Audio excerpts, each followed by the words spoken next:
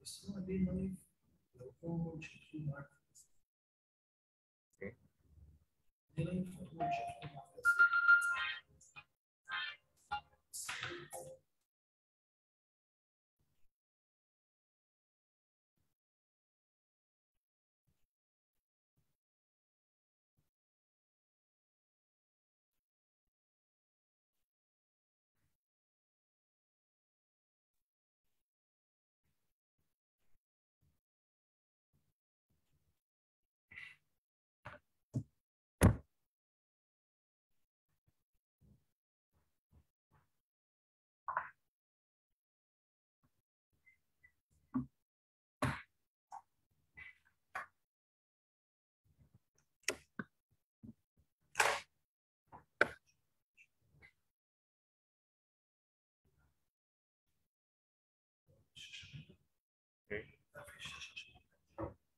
أوكي. دي لايف لو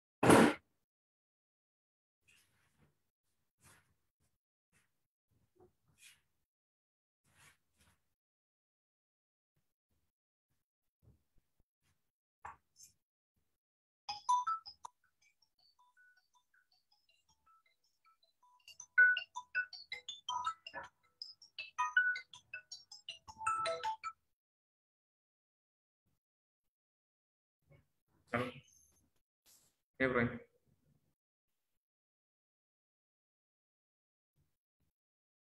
تمام.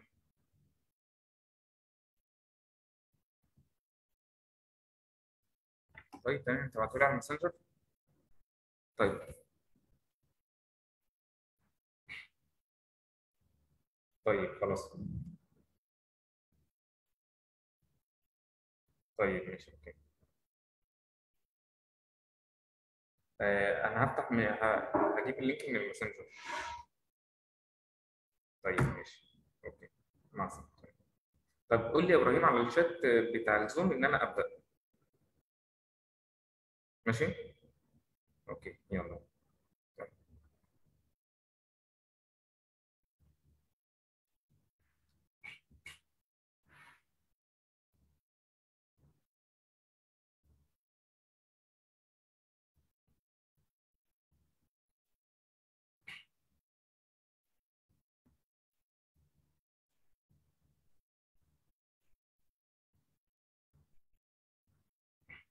أستاذ عادل ممكن بقى نخش نبدا إحنا دلوقتي الناس كده؟ تخش. آه الناس ابتدت تخش. آه، فيلا بينا.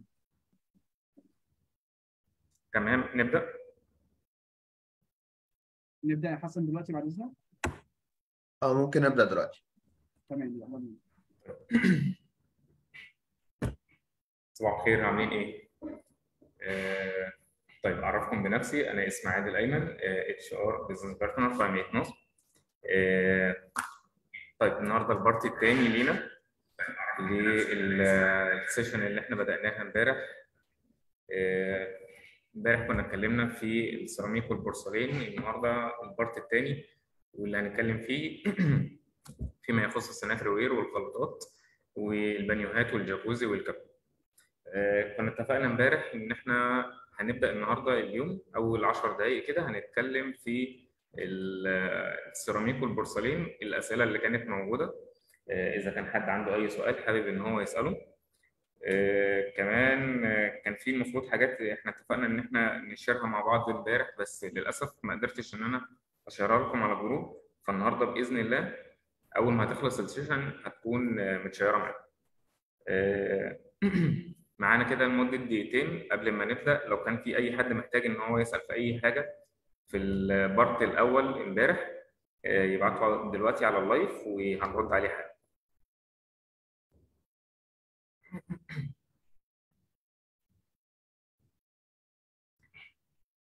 نعمل تذكرة كده مرة تانية بال بال session كانت المفروض هتكون عاملة إزاي. آه، إحنا كان عندنا 3 part ال part الأول كان امبارح آه، اتكلمنا فيه في السيراميك والبورسلين والأحجار الطبيعي والصناعي كمان آه، اتكلمنا في ال HDF والسرنجة آه، ال part التاني النهارده هيكون خاص بال sanitary ware الأدوات الصحية والخلاطات والبانيوهات والجاكوزي.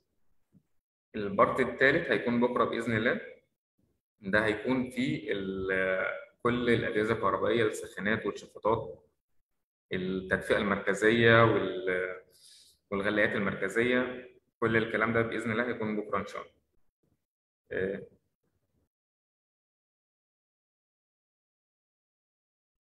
طيب خلينا نبدأ آه، ال live بتاع النهارده ال session بتاعت النهارده. آه، هنتكلم في ال sanitary ware طيب دي كده ال map بتاعت ال session بتاعتنا. آه، زي ما قلنا إن إحنا اتكلمنا امبارح في السيراميك والنهاردة في ال sanitary ware وبكره في الأجهزة الكهربائية. نبدأ بالجزء الأول الخاص بالخلاطات. قبل ما نبدأ الخلاطات خلينا نفرق أو نسأل سؤال آه، إيه هي الخلاطات؟ أو يعني ليه بنسميها خلاطات؟ أو إيه الفرق ما بين الخلاط والحنفية؟ طيب الفرق ما بين الخلاط والحنفية إحنا كنا زمان عندنا المصطلح بتاع الحنفية أو لغاية دلوقتي ممكن يكون عندنا مصطلح الحنفيه الفرق ما بينه وبين الخلاط الخلاط ببساطة كده هو ال- الأداة اللي أنا بميكس بيها ما بين مية سخنة ومية ساقعة. اذا أي جسم عندي هو بيميكس مية سخنة ومية ساقعة فده آه، بسميه خلاط. آه، اللي بيكون بينزل مية ساقعة بس أو نوع واحد بس من المية فده بسميه حنفية. طيب آه، في البداية كده إيه هي أنواع الخلاطات؟ عندنا أربع أنواع من الخلاطات. النوع الأول الخلاط الخاص بالمطبخ ثم الخلاطات الخاص بالحوض الحمام. النوع الثالث خلاط خاص بال shower سواء بانيو أو العادي. والنوع الرابع الخلاطات الخاصة بالشطاف ال external. تمام؟ طيب نبدأ بالنوع الأول اللي هو الخلاط الخاص بالحوض الحمام. طيب النوع الأول اللي كان خاص بالحوض الحمام والنوع الثاني الخاص بحوض المطبخ. آه، زي ما إحنا شايفين قدامنا كده ده الشكل الخاص بخلاط حوض الحمام. ويمكن الشكل ده هو تطور لشكل حوض الحمام اللي كان موجود زمان. كان بيكون عبارة عن فتحتين ثم أنطرة متوصلة بالنص ما بينهم وفي أكرتين في الجنب كده. ظهر شكل تاني إن كان بيكون فيه ثلاث فتحات ومقبض على اليمين ومقبض على الشمال وفي النص بيكون فيه الأنطرة بتاعت خروج المية. ثم الشكل اللي إحنا شايفينه قدامنا ده آه، اللي على الشمال اللي في الصورة اللي على الشمال ده ده الشكل النهائي اللي هو بيكون فتحة واحدة بس في حوض الحمام وبيكون شاملة التوصيلات بتاعة المية السخنة والمية الساقعة والميكسر بتاع التحكم في درجة الحرارة آه، سواء ساقع أكتر حاجة أو سخن أكتر حاجة أو ميكس ما بين الاتنين. طيب. آه، في حاجة نقط محتاجين إن إحنا نتكلم عليها؟ آه. أول حاجة إحنا عايزين نتكلم عن إن ال- الأبعاد بتاعة حوض الحمام مش بتكون مضايقاني زي الأبعاد بتاعة حوض المطبخ. حوض الحمام أنا بقدر إن أنا أركب الخلاط على الحوض مباشرة اللي هو بيكون ارتفاعه هنتكلم عنه بعد شوية. بيكون ارتفاعه 65 سم من وش السيراميك؟ من سطح السيراميك لغاية أول نقطة في حوض الحمام في خلاط حوض الحمام بتكون 85 سم الأبعاد بتاعة فتحة السخن والبارد لحوض الحمام بتكون الفرق ما بينهم بيبقى من 8 ل 10 سم از إن إحنا ممكن يكون ال- الركبة بتاعة حوض الحمام ممكن تكون اللي هي الركبة المعلقه لو كانت مش الركبة المعلقة فالمسافة بالنسبة لي بتكون آه، ما فيهاش مشكلة. طيب ده كده بالنسبة لحوض الحمام.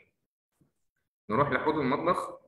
آه، حوض المطبخ الشكل اللي قدامنا حاليا اللي على اليمين ده آه، ده كان تطور برضو للشكل القديم شوية كان موجود في حوض المطبخ كان بيكون معلق في الحيطة.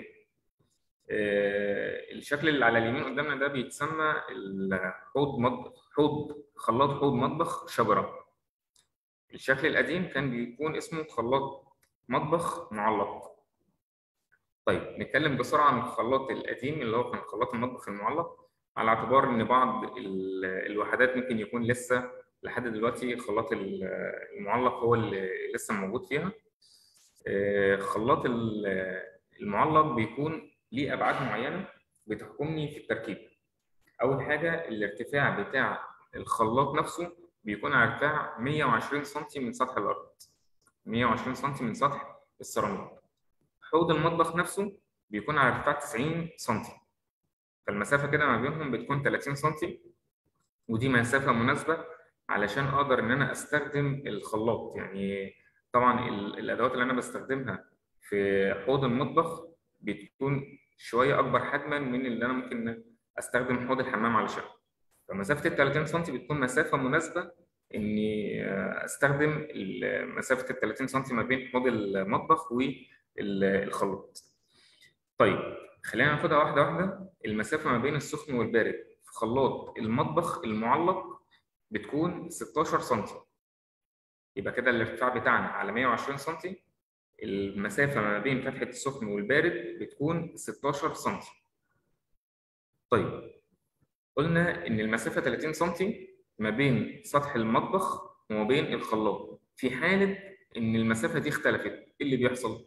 في حالة إن المسافة دي اختلفت بيكون يا إما عالية قوي فدي بتسبب مشكلة للاستخدام إن هي بتعمل طبعا ترطيش مية والكلام ده أو إن هو بتكون لأ هي المستوى بتاعها منخفض جدا فبرضه بتعمل مشكلة في الاستخدام إني مش بقدر أحرك ال- الأدوات اللي أنا بستخدمها في حوض المطبخ.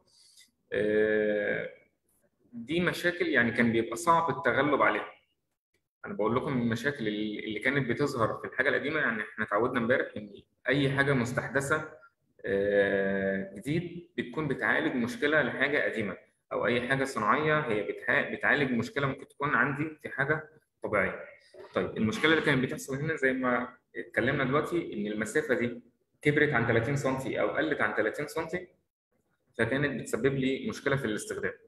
طيب آه، دي المشكلة الأولى. المشكلة الثانية إن مسافة ما بين السخن والبارد زي ما اتكلمنا إن هي بتكون 16 سم المسافة دي هي لازم تكون 16 سم بالظبط. ما ينفعش تبقى 15 وما ينفعش تبقى 17 طيب الفتحة بتاعت السخن والبارد دي بيتقفل عليها السيراميك. في حالة إن الراجل بتاع السيراميك أو الفني السباك عمل الشغل بتاعه تمام وما عندوش أي مشكلة الراجل بتاع السيراميك بس وهو بيقفل الدنيا قرب المسافات بتاعت السخن والبارد شوية. إيه الحل هنا؟ الموضوع بيبقى صعب برضه شوية. طيب هل الحل خلاص كده منتهي والمفروض إن أنا أكسر السيراميك؟ لأ بيكون ليها حل آه، بدائي شوية مش بيكون شكله ألطف حاجة بس بيكون ليها حل. الحل ده عبارة عن إيه؟ بيكون في حاجة اسمها كرنك بيكون جاي مع الخلاط. الكرنك ده بيقرب لي المسافة بدرجة واحد ونص سنتي. فأنا لو ركبت الكرنك ده في اليمين وفي الشمال فأنا معايا مسافة 3 سنتي إن أنا أكبر بيهم مساحة ال 16 أو أصغر بيهم مساحة ال 16 عايز تقول إيه؟ عايز أقول إن أنا ال 16 سنتي دول ينفع إن هم يوصلوا معايا ل 13 أو ل 19 على اعتبار إن كل كرنك بيديني مسافة تحريك إن هي تكبر أو تصغر بدرجة آه، واحد ونص سنتي. طيب آه، ده كان خلاط حوض المطبخ المعلق. آه، الخلاط اللي على يميننا دلوقتي خلاط حوض المطبخ الشجرة ده تقريبا أشبه كتير حتى أنا حطيته في نفس الصورة مع خلاط ال- الحمام هو أشبه كتير بخلاط حوض الحمام بيحل لي مشاكل إن أنا خلاص ما بقاش عندي مشكلة إني ألتزم بمسافة ال 16 سم اللي كانت موجودة في الحوض المعلق دي رقم واحد. رقم اتنين المسافة اللي ما بين الحوض وما بين فتحة الخلاط اللي هي كانت 30 سم خلاص دلوقتي أنا قادر إن أنا أتحكم فيها. آه، لو لاحظنا في الصورة اللي موجودة قدامنا هي ال- الراس الكروية اللي موجودة في مقدمة الامطره تحس إن هي متحركة شوية ومنقسمة كده لجزئين. الجزئين دول عبارة عن إيه؟ الجزء الأول اللي فوق ده بيحول لي شكل المية ما بين مية عادية ومية دش. والجزء اللي تحت ينفع إن هو يتسحب لبرة لمسافة بتوصل لغاية متر ونص وبتكون مسافة خروج للدش من الخلاط. آه، طيب ده بيسمح لي بإيه؟ ده بيسمح لي إن أنا بيديني مساحة ال 30 سم دي بقت متحركة بالنسبة لي أقدر إن أنا أستخدمه في تنظيف المساحة بتاعة الحوض بشكل كامل. أقدر ان أنا استخدمه استخدامات متعدده. آه، عالج لي مشاكل كتير جدا. آه، الأشكال المستحدثة منه بقى كتير يعني على نفس الشكل ده بس ال options بتكون أكتر. آه، في بعض الخلاطات بقت بتوفر إن الخلاط نفسه يكون عبارة عن خلاط عادي وفلتر. طبعا إحنا كتير شفنا إن الفلتر بيكون هو حنفية منفصلة عن الفلتر وبيتم توصيل الفلتر في الحنفية الخارجية دي. هنا بوفر إن أنا يكون عندي فتحة تانية في الحيطة اللي هي فتحة الفلتر. لا أنا بقدر إن أنا أوصل الخلاط بالفلتر مباشرة وأستخدم الخلاط كخلاط عادي وكفلتر. طيب ده كده النوعين الأولانيين من آه، الخلاطات. أنا بتابع معاكم إذا كان في أي سؤال أو أي حد محتاج إن هو يوقفني عشان يسأل في أي حاجة آه، معاكم مفيش أي مشكلة. ندخل على النوع الثالث وهو النوع الخاص بخلاط ال shower طيب وإحنا بنعرف الخلاطات في الأول؟ وإحنا بنعرف الخلاطات في الأول اتكلمنا عن خلاط ال shower وقلنا إن هو خلاط ال shower سواء خلاط البانيو أو الخلاط العادي. آه، حد ممكن يكون عنده فكرة إحنا ليه فرقنا ما بين خلاط البانيو والخلاط العادي؟ يعني ممكن نفكر فيها كده ثواني. طيب الفرق ما بين خلاط البانيو والخلاط العادي إن الخلاط اللي موجود قدامنا في الصورة دلوقتي هو عبارة عن خلاط آه، فتحتين مية سخن وبارد زائد القنطره بتاعت خروج المية زائد الميكسر بتاع التحكم في درجة حرارة المية السخن والساقع وكمان نشوف تحت هنا في ال- الخرطوم الخاص بالسماعة أو خاص بالطاسة بتاعت ال rain shower طيب ده كده خلاط حوض البانيو خلاط ال- ال shower البانيو ولا خلاط ال shower العادي؟ ده كده خلاط ال shower البانيو. عرفت إزاي إن هو خلاط ال shower بانيو عشان في القنطره بتاعت خروج المية اللي هي إحنا بنسميها الصبابه وجود القنطره دي ده بيعني كده إن الخلاط ده أنا هستخدمه علشان أملى حاجة. طيب الفرق ما بينه وبين الخلاط العادي إن مش بيكون مش بيكون فيه القنطره بتاعت خروج المية دي. آه، بيكون عبارة بس عن الفتحتين المية السخن والبارد والمكسر بتاع التحكم في درجة حرارة المية وال diverter بتاع المحول. ده كده كان خلاط البانيو العادي. في سؤال إزاي بوصل حنفية الفلتر مع خلاط المية؟ طيب نرجع للسؤال ده مرة ثانية نجاوب على السؤال آه، إزاي إن أنا بوصل حنفية الفلتر مع خلاط المية يعني هنا ده كده الخلاط بتاع حوض المطبخ بيكون نازل منه الوصلتين بتوع السخن والبارد دول بيوصلوا مباشرة لفتحات الخروج بتاعة المية من الحيطة. طيب خلاط الفلتر بوصله إزاي؟ خلينا نتخيل كده الجزء اللي كان خاص بفتحة خروج المية بتاعة الفلتر من الحيطة. أنا كنت بعمل فيه إيه؟ كنت باخد منه وصلة وأوصلها للفلتر وبعد كده الفلتر شغال عادي بي... بفتح الحنفية بتاعة الفلتر بينزل لي المية عادي. تمام كده؟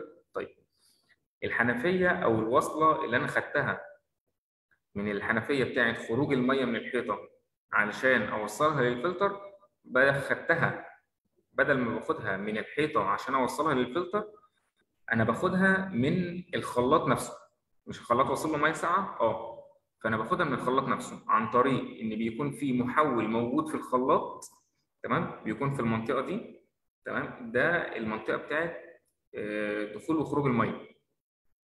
طيب بيكون في محول في المنطقة دي بيقطع المية من الخروج المية العادية. وبعد كده بيروح محولها جوه الخلاط داخليا وبيوصلها للفلتر. مكان الفلتر بيكون فين؟ بيكون تحت حوض المطبخ. تمام كده؟ يبقى المية اللي كانت هتطلع من الخلاط عادي أنا بعمل تحكم فيها إن أنا بقفل المية وبحول مسارها إن هي تروح للفلتر. تمام؟ يبقى كده الفلتر اتغذى من الخلاط. ثم الفتحة بتاعت خروج المية من الفلتر بوصلها تاني للخلاط. اذا كده إن الخلاط بقى فيه ثلاثة وصلة. وصلة سخن وبارد ووصلة فلتر. طيب مش وصلة الفلتر دي المفروض إن هي تبقى وصلتين مع بعض؟ لا هي بتكون وصلة واحدة لأن وصلة خروج المية من الخلاط هي بتروح للفلتر مباشرة.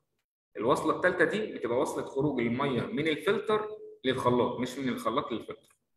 تمام؟ طيب. نكمل. مكملين في الجزء بتاع خلاط ال- البانيو أو خلاط ال shower. كده الصورة ظاهرة خلاط ال shower. طيب. فرقنا دلوقتي ما بين نوعين لخلاط ال shower. عندنا النوع الأول اللي هو بتاع البانيو والنوع الثاني اللي هو بتاع ال shower العادي وقلنا الفرق ما بين خلاط البانيو وخلاط ال shower العادي. إن خلاط البانيو بيكون فيه ال- الجزء الأمامي ده اللي هو الصباب اللي بملى بيه البانيو أو الجاكوزي. الجزء الثاني بيكون ال- ال shower ما فيهوش الفتحة بتاعه الصباب طيب الجسم اللي قدامي أو الشكل اللي قدامي ده حاليا خلاص ما بقاش موجود خالص ولا بالشكل الحالي اللي موجود قدامنا في الصورة ولا حتى بالشكل اللي أنا بقول لكم عليه إن هو ما بيكونش مش بيكون فيه فتحة الصباب طيب الشكل الجديد بقى شكله عامل إزاي؟ قبل ما اوريكم الصورة بتاعت الشكل الجديد هي ممكن تكون ظهرت من شوية أصلا بالخطا قبل ما اوريكم الصورة بتاعته تفتكر كده إيه الحاجة اللي ممكن تكون موجودة في الجسم اللي قدامي ده أنا مش محتاجها؟ في حاجة موجودة في الجسم اللي قدامي أنا مش محتاجها ممكن تكون إيه؟ طيب بالظبط كده أنا قدامي الوصلات بتاعه دخول وخروج المية يعني وصلات بتاعة المية السخن والبارد الجزئين دول أنا مش محتاج إن أنا أشوفهم. دي رقم واحد. دي المنطقة بتاعة الميكس بتاعة المية. المية السخنة والساقعة بتدخل من هنا ومن هنا. أنا مش محتاج إن أنا كمستخدم للخلاط إن أنا أشوف الجزئين دول. تمام؟ فدي أول حاجة اختفت من الخلاط. طيب تاني حاجة. تاني حاجة الجسم بتاع التجميع المنطقة بتاعت التجميع اللي هي في النص دي. المنطقة دي بتجمع لي المية آه، السخن والساقع مع بعض حسب عنصر التحكم اللي أنا بستخدمه من خلال الميكسر ده. بجيب المية ساقع أكتر حاجة أو بجيب المية سخنة أكتر حاجة وبميكس في المنطقة اللي في النص دي. طيب برضو أنا مش محتاج إن أنا أشوف المنطقة دي. فدي المنطقة الثانية اللي اختفت. طيب كمان المنطقة بتاعه خروج المية اللي هي الصباب اللي إحنا اتفقنا إن هي اسمها الصباب من شوية أو اسمها الحنفية. المنطقة دي برضو أنا مش محتاج إن أنا آه، أخليها في الجزء ده. يعني أنا محتاج إن أنا أخليها ممكن تكون لتحت شوية لو كانت shower أو ممكن أخليها لفوق شوية. أنا محتاج مثلا إن أنا أحركها يمين أو شمال شوية على حسب شكل البانيو. إحنا هنشوف أشكال للبانيو بعد شوية. بعض أشكال البانيو ممكن يكون ال frame بتاعها شكله مش منتظم. ممكن يكون من منطقة النص كده ممكن يكون الفريم بتاعها واسع شوية أكتر من 10 15 سم فبيبقى نزول المية عليها مش مش مناسب. المهم إن دي المنطقة الثالثه اللي اختفت من ال- الخلاط. طيب الشكل اللي إحنا وصلنا له دلوقتي بقى شكله عامل إزاي؟ بقى بالشكل ده. طيب الشكل ده كده عبارة عن إيه؟ زي ما إحنا شايفين ده كده الجسم بتاع التحكم في الخلاط. الجزء اللي تحت ده اللي هي البقرة الكبيرة اللي تحت دي دي التحكم بتاع المية السخن والبارد. لو جبتها يمين أكتر حاجة بتبقى سخن بتبقى ساقع ولو جبتها شمال أكتر حاجة بتبقى سخن وفي منطقة الوسط بتكون آه وسط ما بين السخن والساقع. أو التحكم يعني ما بين السخن والساقع أنا محتاج ال mix يكون عامل إزاي. الثلاث زراير اللي فوق دول ثلاث زراير للتحكم في خروج المية من أنهي وحدة. يعني أنا محتاج إن هي تخرج من السماعة أو محتاج إن هي تخرج من ال rain shower أو محتاج إن هي تخرج من ال jet. ال jet ده الصورة اللي في النص ده ال jet shower. واللي على الشمال خالص دي ال rain shower اللي هي التصل في كمان الجزء الثالث اللي هو ممكن يكون السماعة مثلا أو الصباب أو أي حاجة أنا بختارها. طيب هنا اختلف عندي من الشكل القديم ده عن الشكل الجديد في إيه؟ يعني ده كده الشكل القديم. والشكل الجديد اللي هو بقى عنصر التحكم في في الوحدات اللي موجودة معايا. وده الشكل الجديد اللي هو بقى إن أنا أقدر إن أنا أتحكم في كل نوع على حدة. الشكل اللي اتغير عندي دلوقتي بقى عامل إزاي؟ أنا دلوقتي أقدر إن أنا أشغل الثلاث وحدات في وقت واحد. الأول كنت بستخدم يا إما ال rain shower لوحدها أو ال hand shower لوحدها اللي هي ال hand السماعة. أو بستخدم الصباب لوحده. دلوقتي أنا باستخدام ال smart control ده أقدر إن أنا أستخدم الثلاثه في وقت واحد. دي رقم واحد. رقم اثنين أنا أقدر إن أنا أستخدم ال rain shower دي اللي على الشمال خالص دي ممكن تكون لو لو كان عندي السقف عبارة عن gypsum board أو حاجة أقدر إن أنا أدفنها في ال gypsum board. مش مش محتاج إن أنا أشوف الماسورة بتاعت السماعة بتاعت التصل. أقدر إن أنا أدفنها في ال gypsum board. في بعض الأنواع منها بتكون خاصة إن هي بتتربط في ال gypsum board. طيب دي الحاجة الثانية الحاجة الثالثه إن ال jet shower أنا أقدر إن أنا أستخدم عدد من ال jet shower براحتي. اثنين ثلاثة أربعة براحتي. أقدر إن أنا أستخدم أي عدد من ال jet shower. كمان أقدر إن أنا أستغنى عن القطع اللي أنا مش محتاجها.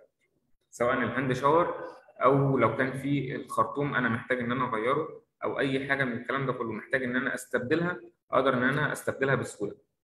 طيب في حاجة كمان لو جيت عند عنصر التحكم اللي على اليمين خالص ده هتلاقي إن البكرة الكبيرة دي في رقم 38 لو لو كان واضح قدامكم في رقم 38 موجود في النص ما بين العلامة الزرقاء والعلامة السخنة وفي تحت الرقم في زي زرار صغير كده. حد قابل حاجة زي كده قبل كده ويقدر يقول لي الزرار ده ممكن يكون بتاع إيه؟ والرقم 38 ده بيرمز لإيه؟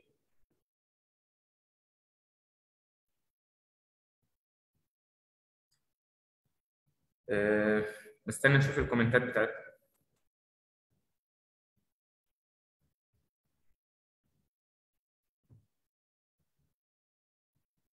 طيب درجة حرارة المية؟ التمبريتشر طيب هو الزرار ده هو مش بيقيس درجة حرارة المية. يعني شوية دي ممكن تكون بتلخبط الناس. هو ده مش بيقيس درجة حرارة المية. طيب خلينا نشرح الأول الجزء ده عبارة عن إيه. من الأول خالص كده. كان عندنا مشكلة زمان في الخلاط اللي إحنا كنا بنتكلم عليه من شوية اللي هو الخلاط القديم اللي كان بي... كنت بشوفه بشكل كامل عنصر دخول وخروج المية و... والجسم بتاع التخليط والكلام ده كله. والدايفرتر اللي كان بيكون موجود في فوق ده علشان أحول ما بين الصباغ وما بين خروج المية.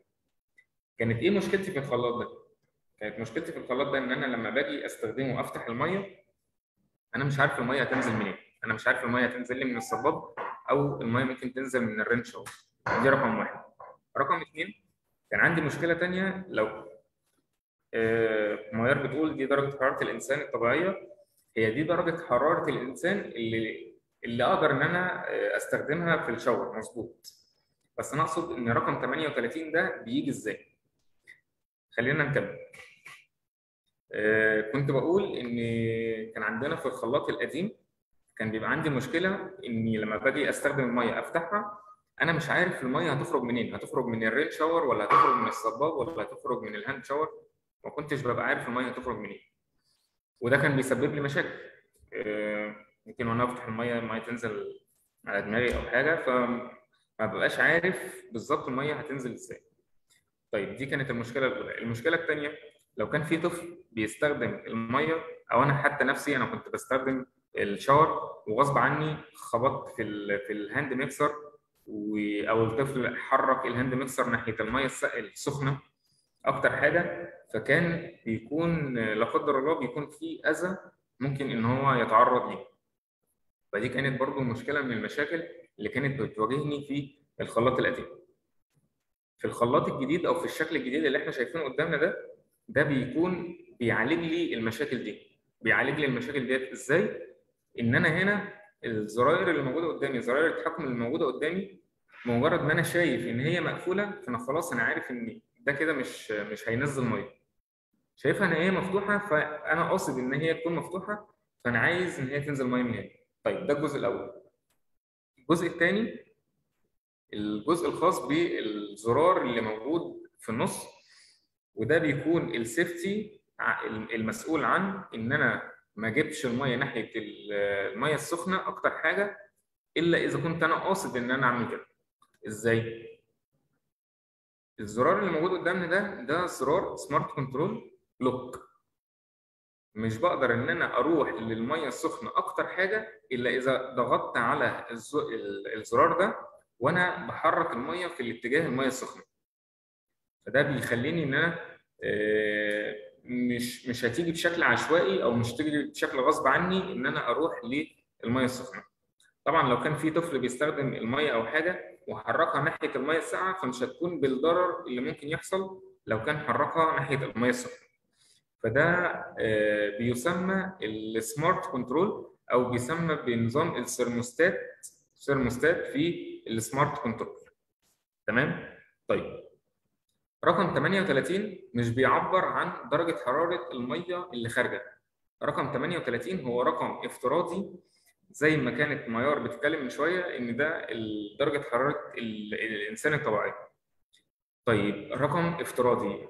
كشركة مصنعة عرفت ال- ال- المحول ده أو ال- ال hand mixer دي لما توصل عند الدرجة دي هتبقى بخروج درجة حرارة 38 الحقيقة إن زي ما قلت لكم إن ده رقم افتراضي فهم مش بيكونوا عارفين إن هي هتوصل للرقم ده ولكن هو mix وسط ما بين درجة حرارة المية السخنة والميه الساقعة. افتراضيا إن هي بتكون تلتين من المية الساقعة وتلت من المية السخنة. يعني ده ال default اللي بيكون عليه الخلاط أول ما بشتريه أنا محتاج إن أنا أعمله على درجة حرارة 38 بالظبط. فببساطة جدا بفك الوش ده وبيكون عندي ال- الفتحات بتاعت خروج المية وال hand mixer بدون الوش. تمام؟ فبالتالي بيكون زرار ال lock بي- بيكون مش موجود. بقدر إن أنا أجيب المية السخن والساقع أحولها يمين وشمال لحد ما أوصل لدرجة حرارة المية اللي أنا عايزها اللي هي درجة حرارة الإنسان الطبيعية أو ممكن إن أنا أقيسها حتى بالترمومتر لغاية ما أوصل لدرجة حرارة 38 ويبقى هو ده الدرجة بتاعتي اللي أنا محتاج إن هي تكون الوسط بتاعتي. ممكن أنا أستخدمها درجة حرارة 40 ممكن حد تاني يستخدمها درجة حرارة 35 يبقى هي دي الدرجة الافتراضية اللي أنت مش عايز إن درجة حرارة المية تزيد عنها. تمام كده؟ طيب. آه الجزء الأهم بقى من الكلام ده كله هو الجزء الخاص بالتأسيس. أنا بأسس الكلام ده إزاي؟ يعني الكلام ده كله خارجيا إحنا ما عندناش فيه أي مشكلة. الجزء الخاص بالتأسيس بيكون عامل إزاي؟ الحقيقة إن كل الكلام ده بيتجمع في جسم تجميع واحد بس. آه، هتشوفوه إن شاء الله لما تيجوا في ال visit بتاعت ال showroom هنا. آه، بيكون آه، جسم تجميع ما بين المية السخنة والساقعة بيكون فتحتين دخول للمية وثلاث فتحات خروج للمية. الثلاث فتحات بتوع خروج المية بيكونوا متوزعين في الاتجاهات اللي حضرتك عايزها. بمعنى أنا محتاج إن أنا أخرج المية في اتجاه واحد بس لفوق ناحية ال rain shower وفي اتجاهين لتحت ناحية ال hand shower وناحية ال- الصباب أو ناحية ناحية لل hand shower وناحية لل jet فأنا هنا خلاص بقى عندي ال- الانسيابية وال flexibility اللي تخليني إن أنا أحط العناصر دي في أي مكان أنا محتاجه. تمام؟ طيب. نظام ال smart control كمان بيسمح لي إن أنا أشغل حاجة واحدة أو اثنين أو ثلاثة أو أكتر كمان من كده. آه، كمان نظام السمارت كنترول في أهم حاجة الجزء اللي إحنا اتكلمنا عنه من شوية اللي هو الجزء الخاص بالثيرموستات وده مش هيكون موجود في أي خلاط من الخلاطات آه، القديمة. طيب كمان هنا أنا أقدر إن أنا أتحكم في الارتفاعات بتاعه الخلاط. الأول كنت محكوم بإن ارتفاع الخلاط يكون على ارتفاع 75 لأن ارتفاع البانيو نفسه بيكون على ارتفاع 60 أو 65 فهنا خلاص أنا بقيت أقدر إن أنا أركب ال- الوحدات التحكم بتاعتي على المستوى اللي أنا عايزه. طيب بركبها على المستوى اللي أنا عايزه بأي مستوى آه، يخطر لي على بال بدون أي آه، قيود لأ. المفروض إن المتعارف عليه في تركيب وحدة التحكم اللي هي على اليمين خالص دي آه، لخروج المية أو للسخن والبارد يعني القيود اللي عندي إن هي تكون على ارتفاع 110 تزيد 10 سم أو تقل 10 سم يعني معانا من 100 ل 120 سم ده المكان المناسب لاستخدام ال- ال hand mixer.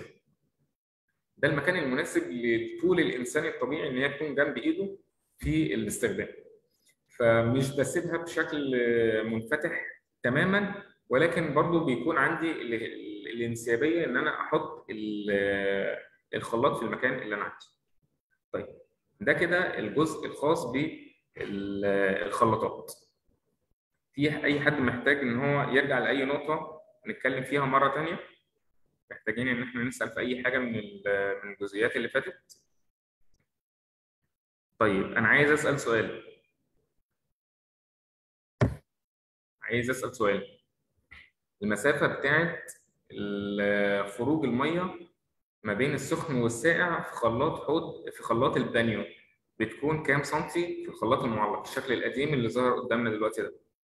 المسافة دي بتكون كام سنتي ما بين خروج المية للسخن والساقع. المسافة ما بينهم بتكون كام سنتي حد عارف؟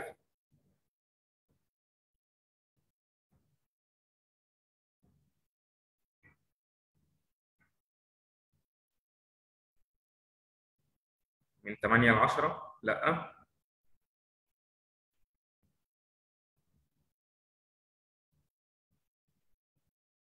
16 سنتي مريم مظبوط. لو في تأسيس على النظام القديم إزاي أقدر إن أحوله لنظام ال smart control ممتاز؟ تقريبا 16 سنتي زي المطبخ مكة مظبوط تمام؟ جان 17 لأ. طيب آه، هي فعلا 16 سنتي وأنا سألت السؤال دوت علشان عايز أعمل آه، repeat مرة تانية على ال dimension بتاعت التركيب كلها التأسيس بالكامل من أول خلاط الحمام لغاية خلاط الشاور. آه، لأن دي dimension مهمة جدا. عايزين بس الأول نجاوب على السؤال لو كان في تأسيس على النظام القديم إزاي أقدر إني أحوله للنظام ال smart control طيب لو كان في تأسيس على النظام القديم ولسه السيراميك ما ركبش فالموضوع بيكون سهل جدا بالنسبة لي لأني أنا بقطع ال- المواسير التأسيس الداخلية اللي هي مواسير البولي الداخلية دي بقطعها وبركب الجسم الدفن بتاعي فمش بيكون فيها مشكلة إن شاء الله. ده إذا كان السيراميك لسه ما ركبش. لو كان السيراميك ركب فأنا في الحالة دي بحتاج إن أنا أقص السيراميك على المسافة اللي أنا هركب فيها ال- السمارت. طيب أنا بقصه على قد بس المسافة بتاعة الخلاط أو المساحة بتاعة الخلاط؟ لأ. أنا كمان هضطر إن أنا أقص مساحة لفوق كده. يعني مسافة بلاطة مثلا اللي هي مسافة 20 سم واقص المسافة المساحة دي من الحيطة علشان أركب ال- الماسورة الدفن بتاعتي علشان توصل للهاند شاور من فوق. تمام كده؟ طيب خلينا نعمل مراجعة مرة تانية كده سريعة على الأبعاد بتاعة التأسيس للخلاط الخلاطات من أول خلاط حوض الحمام لحد خلاط الشجر طيب أول خلاط كان موجود معانا الخلاط بتاع حوض الحمام وده قلنا إن هو بيركب على ارتفاع 85 سم بسرعة الأشكال بتاعته بتكون عاملة إزاي الشكل الحالي اللي إحنا موجودين عليه إن هو بيكون فتحه واحدة بس في الخلاط وبيكون تحتها الجسم بتاع التجميع بتاع السخن والبارد وده بيكون التأسيس بتاعه تحتيه ب 25 سم فلو كان هو 85 سم ارتفاعه فمسافة الخروج بتاعة المية من الحيطة بتكون على ارتفاع كام؟ على ارتفاع 60 سم تمام كده؟ ده المسافة بتاعت خروج المية من حوض الحمام تمام؟ بتاعت التأسيس بتاع حوض الحمام بتكون على ارتفاع 60 سم الخلاط نفسه بيكون على ارتفاع 85 سم كده المسافة كام؟ كده المسافة 25 سم معانا لغاية 30 سم دي ممكن يعني بدل ما هو راكب على 60 ينفع إن الفني السباك ينفع إن هو يخرجها من 55 دي ما فيهاش مشكلة. إحنا كده بنتكلم في خلاط حوض الحمام اللي ظهر قدامنا دلوقتي على الشمال.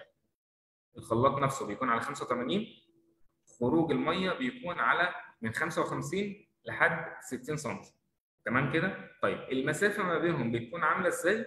براحتي براحتي لو كان الحوض مش هيكون ركبة معلقة تمام طيب لو كان ركبة معلقة فأنا بلتزم إن المسافة تكون من 8 ل 10 سم مش أكتر من كده طبعا لو كانت أقل من كده يكون أفضل. تمام كده؟ ده كده بالنسبة لخلاط حوض الحمام. طيب نروح لخلاط حوض المطبخ. لو كان حد عنده سؤال في خلاط حوض الحمام آه اتفضلوا. آه نروح لخلاط حوض المطبخ. أنا هسأل بالمناسبة على حاجة في خلاط حوض الحمام دلوقتي. آه بس لما نخلص خلاط حوض المطبخ. آه بالنسبة لخلاط حوض المطبخ إحنا قلنا إن إحنا عندنا منه شكلين. الشكل الأول اللي هو الشكل القديم ده كان بيكون آه معلق في الحيطة وبيكون الارتفاع بتاعه على 120 سم والمسافة ما بين السخن والبارد بتكون 16 سم حوض المطبخ نفسه بيكون على ارتفاع 90 سم فالخلاط المعلق كان بيبقى على 120 طيب الخلاط الشجرة هيكون على كام؟ ده بيركب في الحوض مباشرة. في سؤال. من 8 10 سم دي إيه و16 سم إيه. ماشي. حاضر يا جيهان هنرجع حالا للسؤال ده. نكمل بس خلاط حوض المطبخ الشجرة. حوض المطبخ الشجرة قلنا إن بيكون راكب في في الحوض مباشرة اللي هو أصلا بيكون على ارتفاع 90 سم فكده خلاط حوض المطبخ الشجرة بيكون التأسيس بتاعه على ارتفاع 90 سم طيب المسافة بتاعت التغذية اللي هي بتاعت خروج المية من الحيطة اللي هي السخن والبارد دي بتكون على ارتفاع قد إيه؟ برضه بنسيب لها مسافة من 25 ل 30 سم وهو كان 90 سم ارتفاع خلاط المطبخ. لما ننزل 30 سم يكون على ارتفاع 60 سم معانا من 25 ل 30 يعني يا إما 60 يا إما 65 سم دي مسافة مناسبة. طيب. المسافة ما بين السخن والبارد اللي خارج من الحيطة ده المفروض إن هي تكون قد إيه؟ براحتي طب ليه براحتي هنا؟ لأن مفيش حاجة اسمها خلاط حوض المطبخ إن أنا هركب ركبة معلقه كده كده المسافة تحت الحوض بتكون مفتوحة تمام؟ طيب نروح للسؤال بتاع جيهان اللي هو من 8 ل 10 سم دي عبارة عن إيه بس في سؤال تاني ممكن إعادة إعادة المطبخ طيب خلينا ناخد المطبخ تاني. إحنا عندنا نوعين يا جماعة من خلاط المطبخ. النوع الأول الخلاط المطبخ المعلق. عبارة عن إيه خلاط المطبخ المعلق؟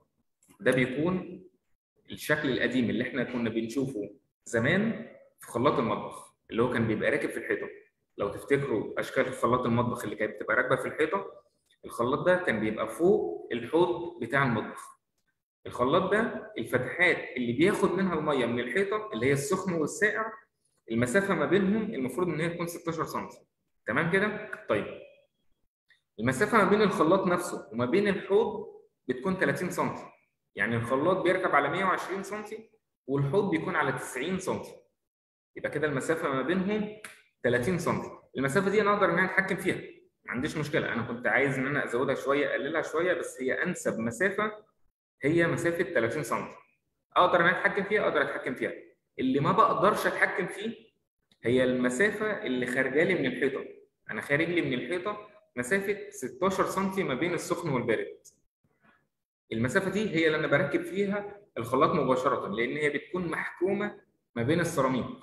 فأنا هجيب الخلاط أركبه مباشرة. مش هينفع إن هو يكبر أو يصغر شوية لأن خلاص بيكون اتقفل عليها بالسيراميك. تمام كده؟ المسافة دي قد إيه؟ المسافة دي 16 سم تمام؟ طيب ده كده بالنسبة لخلاط حوض المطبخ. لو الدنيا تمام كده في خلاط حوض المطبخ قولوا لي. ده كده خلاط حوض المطبخ المعلق. طيب خلاط حوض المطبخ الشجرة. خلاط حوض المطبخ الشجرة أنا ما بقتش مقيد بأي أبعاد. ليه؟ لأن بقت المسافة عندي بقت تحت الحوض. وبقت الوصلات اللي بتوصل لها وصلات نازلة من الخلاط تمام. الوصلات اللي بتنزل لها هي وصلات نازلة من الخلاط الوصلة الفليكسبل لو عارفين الشكل بتاع الوصلة الفليكسبل اللي هي الأسباني دي الوصلة بتتحرك بمرونة فأنا بوجهها ناحية اليمين أو ناحية الشمال براحتي وبركبهم في الفتحات بتاعت خروج المية. تمام كده؟ فعالج لي المشكلة اللي كانت موجودة في الخلاط الشكل القديم إن هي إن أنا كنت محكوم بمسافة ال 16 سم تمام كده؟ طيب ده كده بالنسبة لخلاط حوض المطبخ المعلق وخلاط حوض المطبخ الشجر طيب السؤال اللي بعد كده إيه مسافة من 8 ل 10 سم اللي كانت موجودة في حوض الحمام؟ بص يا فندم أنا دلوقتي عندي هنروح للصورة دي. آه، الصورة اللي موجودة قدامنا هي صورة لل السناتري وير أو للادوات الصحية. أنا هختار منها بس الجزء بتاع الحوض.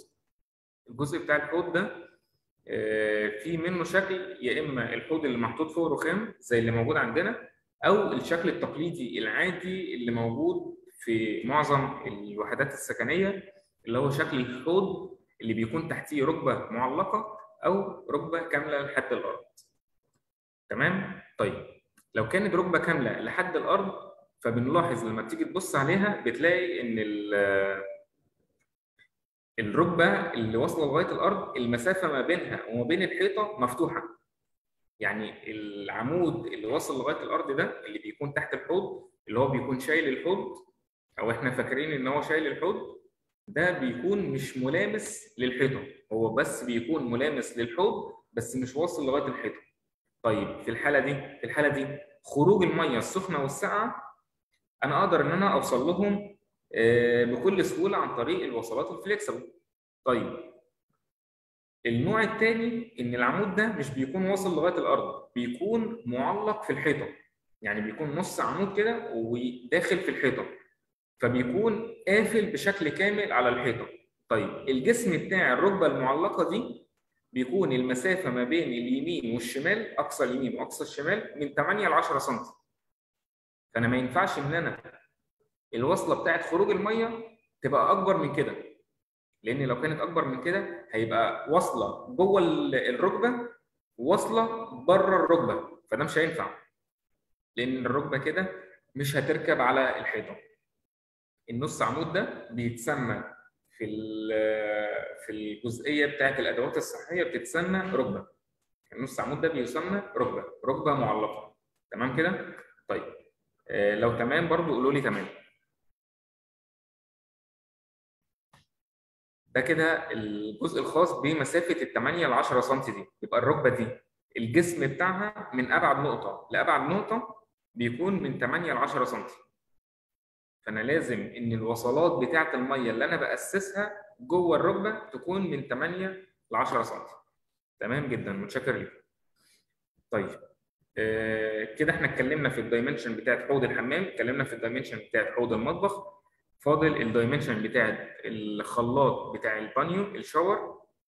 خلاط البانيو الشاور. عندك حاجة من الاثنين يا إما إن أنت هتكون بتستخدم الخلاط القديم اللي هو الشكل ده فلو كان الشكل ده وهتركبه على بانيو فالبانيو تقريبا بيكون ارتفاعه حوالي 60 سم فمفترض إن أنت تركب الخلاط ده فوقيه بحوالي 15 سم فالمسافة المناسبة ليك حوالي 75 سم انت عمال تقول حوالي حوالي حوالي. ليه؟ علشان كل الأبعاد اللي أنا بتكلم فيها دي هي نسبية باختلاف الارتفاع بتاع البانيو البانيو ممكن يكون 60 وممكن يكون 55 وممكن يكون 65 فأنا المسافة المناسبة بالنسبة لي إن هو يكون فوقهم ب 15 سم فأنا بدي لك مساحة 75 دي هتكون مناسبة جدا.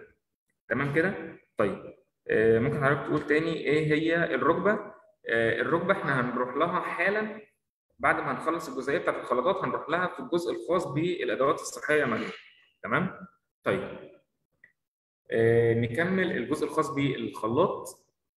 فلو كنت هستخدم الخلاط البانيو هركبه على بانيو فلازم يكون على ارتفاع 75 طيب لو كنت هستخدم الشكل القديم بس مش على بانيو يعني بدون القنطره اللي هي الصباب دي فانا بركبه على ارتفاع 110 اشمعنى 110 عشان 110 دي المسافة المناسبة لاستخدامي وأنا باخد الشاور وتكون قريبة من ايدي. تمام كده؟ فبتكون على ارتفاع 110 ينفع ان هي تزيد عن كده أو تقل عن كده؟ ينفع ان هي تزيد أو تقل عن كده؟ ما فيهاش اي مشكلة. تمام؟ طيب. آه، ده بالنسبة للأبعاد الخاصة بالخلاط الشاور سواء البانيو أو للقدم العادي. طيب الشكل السمارت الجديد بيكون الارتفاع بتاعه عامل إزاي؟ طبعا المساحات هنا عندي آه، مش هقدر مش هتحكم آه، بأي قيود مش هيحكمني أي قيود تماما فيها. أقدر أركب ال rain shower في المكان اللي أنا عايزه. سواء في ال gypsum board نفسه أو تكون نفس نازلة من gypsum board أو تكون خارجة من الحيط مش هيكون عندي أي قيود خالص. ال jet shower بركبه في الأماكن اللي أنا محتاجها. في بعض الناس بتركبه آه، على ارتفاع 150 سم علشان تكون بتركز على عضلات مثلا زي عضلات الظهر. وفي بعض الناس بتركبه على ارتفاعات منخفضة عشان بتركز على برضو عضلات في في القدمين. فأنا بتحكم في ال- الوحدات بتاعه ال jet shower في المكان اللي ال client بيكون محتاجه. يعني حضرتك وأنت بتصمم ال- الحمام هنا هيكون في share ما بينك وما بين ال client علشان يقول لك أنا محتاج هنا jet ومحتاج هنا ال jet. فهنا بيكون محتاج معاك مساحة آه، متسعة من من المساحة براحتك في الأماكن اللي أنت محتاجها. طيب. ده كده بالنسبة للخلاطات أو الميكسر عموما. آه، آخر حاجة هنختم بيها الخلاطات عشان ندخل على الجزء الخاص بالادوات الصحية. آه، في حاجة اسمها الخلاطات السنسور. الخلاطات السنسور يا جماعة ده بيكون في منهم آه، نوعين. عفوا ال 110 لإيه وال 75 لإيه. طيب آه، نتكلم في الخلاطات السنسور وبعد كده هنرد على السؤال بتاع ال 110 وال 75 طيب الخلاطات السنسور بيكون في منها حاليا بقوا ثلاث أنواع. يعني الأول كانوا نوعين حاليا بقوا ثلاث أنواع. خليني أقول لكم على النوعين الأول آه، النوع الأول كان الخلاطات ال sensor اللي بتكون ببطارية. النوع الثاني بيكون خلاط sensor بالكهرباء. الخلاط ال sensor اللي كان بالبطارية ده كان بيكون آه، ليه عمر افتراضي معين للبطارية آه، عدد مرات فتح وقفل. خلاط ال sensor بيكون فيه photocell كده قدامه ومجرد ما الإيد بتقرب منه بمسافة 10 سم فبيشتغل تلقائيا. الخلاط البطارية بيكون ليه عمر افتراضي من عدد مرات الفتح والقفل عدد معين على حسب البراند اللي أنا بشتري منه الخلاط ده اللي هو تقريبا بيكون حوالي 100000 فتحة وقفله 100000 طيب آه، ده البطارية. بالنسبة للخلاط السنسور اللي كان بيشتغل بالكهرباء ده ملوش عدد آه، ملوش عمر افتراضي من الفتح والقفل. ولكن كان بيبقى في مشكلة إن لو كانت الكهرباء فصلت في المكان فأنا مش بقدر إن أنا أستخدم الخلاط أصلا. البطارية مش بترتبط بالكهرباء آه، بس بيكون ليها عمر افتراضي. الكهرباء مش مرتبطة بعدد مرات فتح وقفل معينة ولكن مرتبطة بوجود الكهرباء نفسها. فلو اتفصلت الكهرباء خلاص ما بقاش فيه آه، استخدام للخلاط. طيب النوع الثالث اللي ظهر إن هو يكون بطارية وخلاط مع بعض آه، بطارية وكهرباء مع بعض. بيشتغل على الكهرباء وفي حالة انقطاع الكهرباء فبيشتغل على البطارية. النوع الأشهر على الإطلاق واللي هتلاقوه متوفر في في السوق كتير هو النوع الخاص بالكهرباء. تمام؟ مش البطارية ومش البطارية والكهرباء لأن البطارية والكهرباء بيكون شوية سعره ممكن يكون آه، عالي على بعض الناس والبطارية مش بيكون أنسب حاجة لأن أنا محتاج إن أنا أجدده كل وقت. هتقولي طب ما الكهرباء مرتبطة بوجود الكهرباء وإن هي ما تتقطعش؟ الخلاط ال sensor بيستخدم في الأماكن المولات التجارية الكبيرة ودي عادة ما بيبقاش فيها انقطاع في الكهرباء كتير. يعني حتى لو حصل انقطاع للكهرباء أو حاجة فال generator بيكون آه، متواجد. تمام؟ طيب ده كده بالنسبة للخلاطات ال sensor. خلينا نرد على السؤال بتاع إيه هو ال 110 وايه ال 75 خلاط الحوض الحمام القديم اللي هو موجود قدامنا في في ال screen دلوقتي ده بيركب على 75 سم. ده بالنسبة لإن هو خلاط حوض آه، بانيو يركب على بانيو. ده خلاط بانيو يركب على بانيو. إيه خلاط حوض بانيو اللي أنا قلتها دي؟ ماشي sorry. ده خلاط بانيو يركب على بانيو علشان يركب يغذي البانيو أو يملى البانيو. فده بيركب على ارتفاع 75 سم. طيب لو كان نفس الشكل ده بس ما فيهوش الصباب الأداء الأمامي اللي أنا بشاور عليه دلوقتي ده اللي هو بيملى البانيو فده كده مش هيملى بانيو فمش هيتحط على بانيو. فهيتحط على ارتفاع 110 تمام كده؟ طيب. آه، وحدة ال smart بتحتاج تأسيس مقاس قد إيه؟ طيب الجسم بتاع السمارت نفسه بيكون الجسم من أوله لآخره بيكون حوالي 20 سم فأنا بسيب المسافة بتاعة ال- البولي المواسير البولي بتاعتي بسيب لها حوالي 25 سم يعني سيب 2.5 سم زيادة من هنا و2.5 سم زيادة من هنا وبيتقفل بالكوع بتاع الماسورة البولي. يعني الاثنين ونص دول بيتقفلوا بتوع. الكوع بتوع الماسورة البولي. تمام؟ وحاليا بعض من. بعض من ال... الأجهزة السمارت دي بتكون متوصلة مباشرة من تحت. يعني أنا مش ببقى محتاج إن أنا أسيب له مسافة. هي بتدخل مباشرة في الجسم من تحت على طول. تمام كده؟ طيب.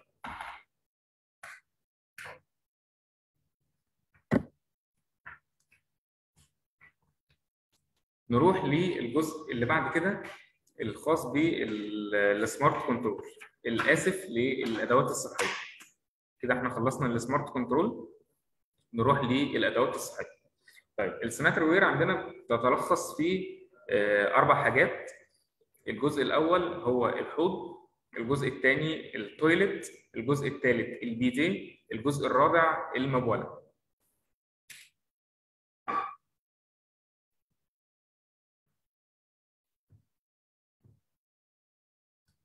في سؤال إزاي بيتم عزل الكهرباء اللي ماشية في الخلاط ال sensor عن المية علشان ال safety بالظبط كده زي السخانات الكهرباء زي ال- الجاكوزي اللي بيكون فيه مواتير كهرباء. هو ما بيكونش فيه أي علاقة ما بين ال sensor أو الكهرباء بتاعت ال sensor والمية. ده بيكون ليه مسار وده مسار تاني خالص.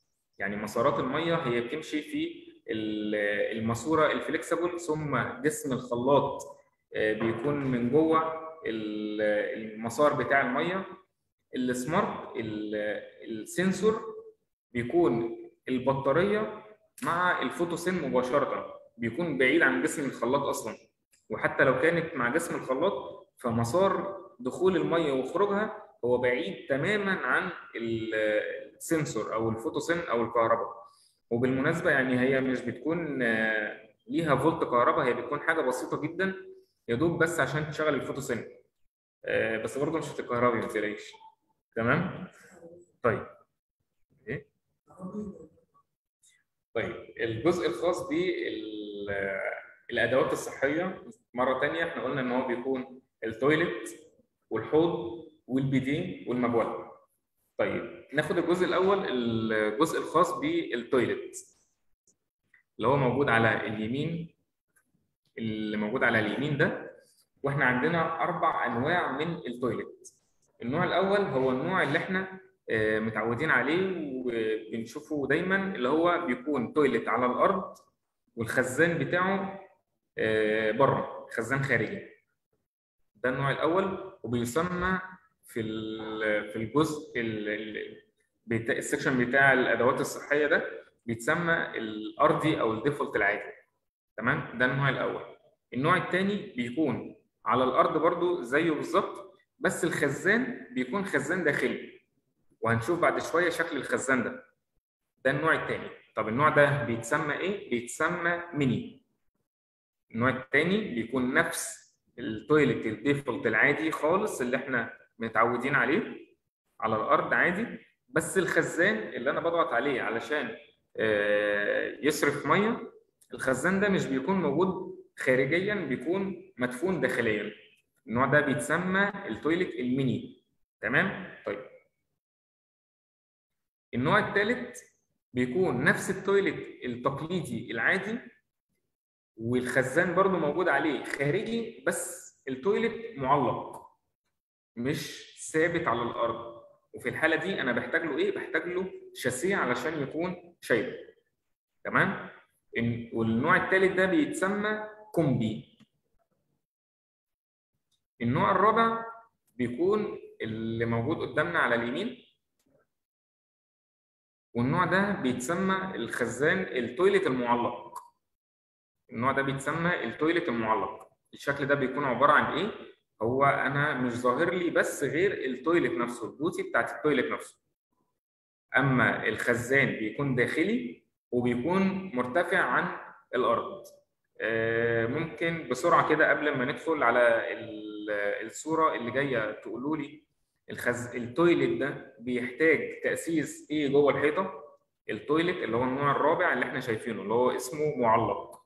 ممكن بسرعة كده تقولوا لي ده هيحتاج إيه جوه الحيطة؟ ده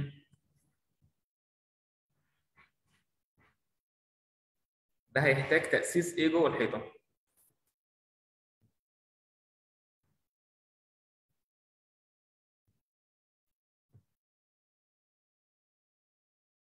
طيب النوع ده بيحتاج تأسيس جوه الحيطة بما إنه مرتفع عن الأرض. بالظبط كده السيفون صرف وتغذية. صرف وتغذية تمام. الخزان والشاسيه. برافو ميار. يعني جابت يعني إجابة نموذجية. تمام. الله ينور عليكم. ده بيكون مرتفع عن الأرض فهو مش ثابت على الأرض فمحتاج حاجة تشيله اللي هي الشاسيه. تمام كده؟ طيب. ومش معاه سيفون صرف. يعني هو مش معاه خزان علشان أصرف منه. فمحتاج كمان خزان جوه الحيطة. بيكون شكله عامل إزاي؟ بيكون بالشكل اللي قدامنا ده. طيب.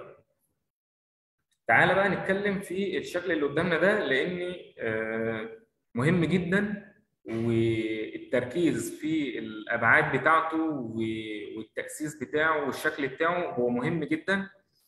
وأكتر أسئلة بتتسأل من العملاء لحضراتكم بتكون في الصيانة بتاعته في التأسيس بتاعه. طب أنت بتعرف تركبه ولا لأ؟ طب لو حصل فيه مشكلة طب هو إيه أفضل نوع؟ طب هو إيه الفرق ما بين ده وبين ده؟ طب هو المفروض إن ده كده المية بتاعته تكفي إن هو آه، يبقى زي السيفون العادي اللي إحنا متعودين عليه ولا لأ؟ طب هو يشيل أوزان قد إيه؟ أسئلة كتير جدا جدا جدا ملهاش حصر آه، بتتسأل في الجزئية دي. طيب آه، لو كنتوا بتكتبوا ال dimension ف يا ريت ن focus جدا. على ال dimension اللي إحنا هنتكلم فيها في الخزان ده. آه، وهنقول فيه كل كل مسمار بيركب على ارتفاع قد إيه وبيكون المسافات بتاعته عاملة إزاي. طيب أنا عايز أعمل بسرعة كده قبل ما ما نتكلم في الخزان. عايز أعمل revision بسرعة على الأنواع اللي كانت موجودة عندنا. إحنا عندنا أربع أنواع. النوع الأول كان النوع اللي هو ال default العادي التقليدي.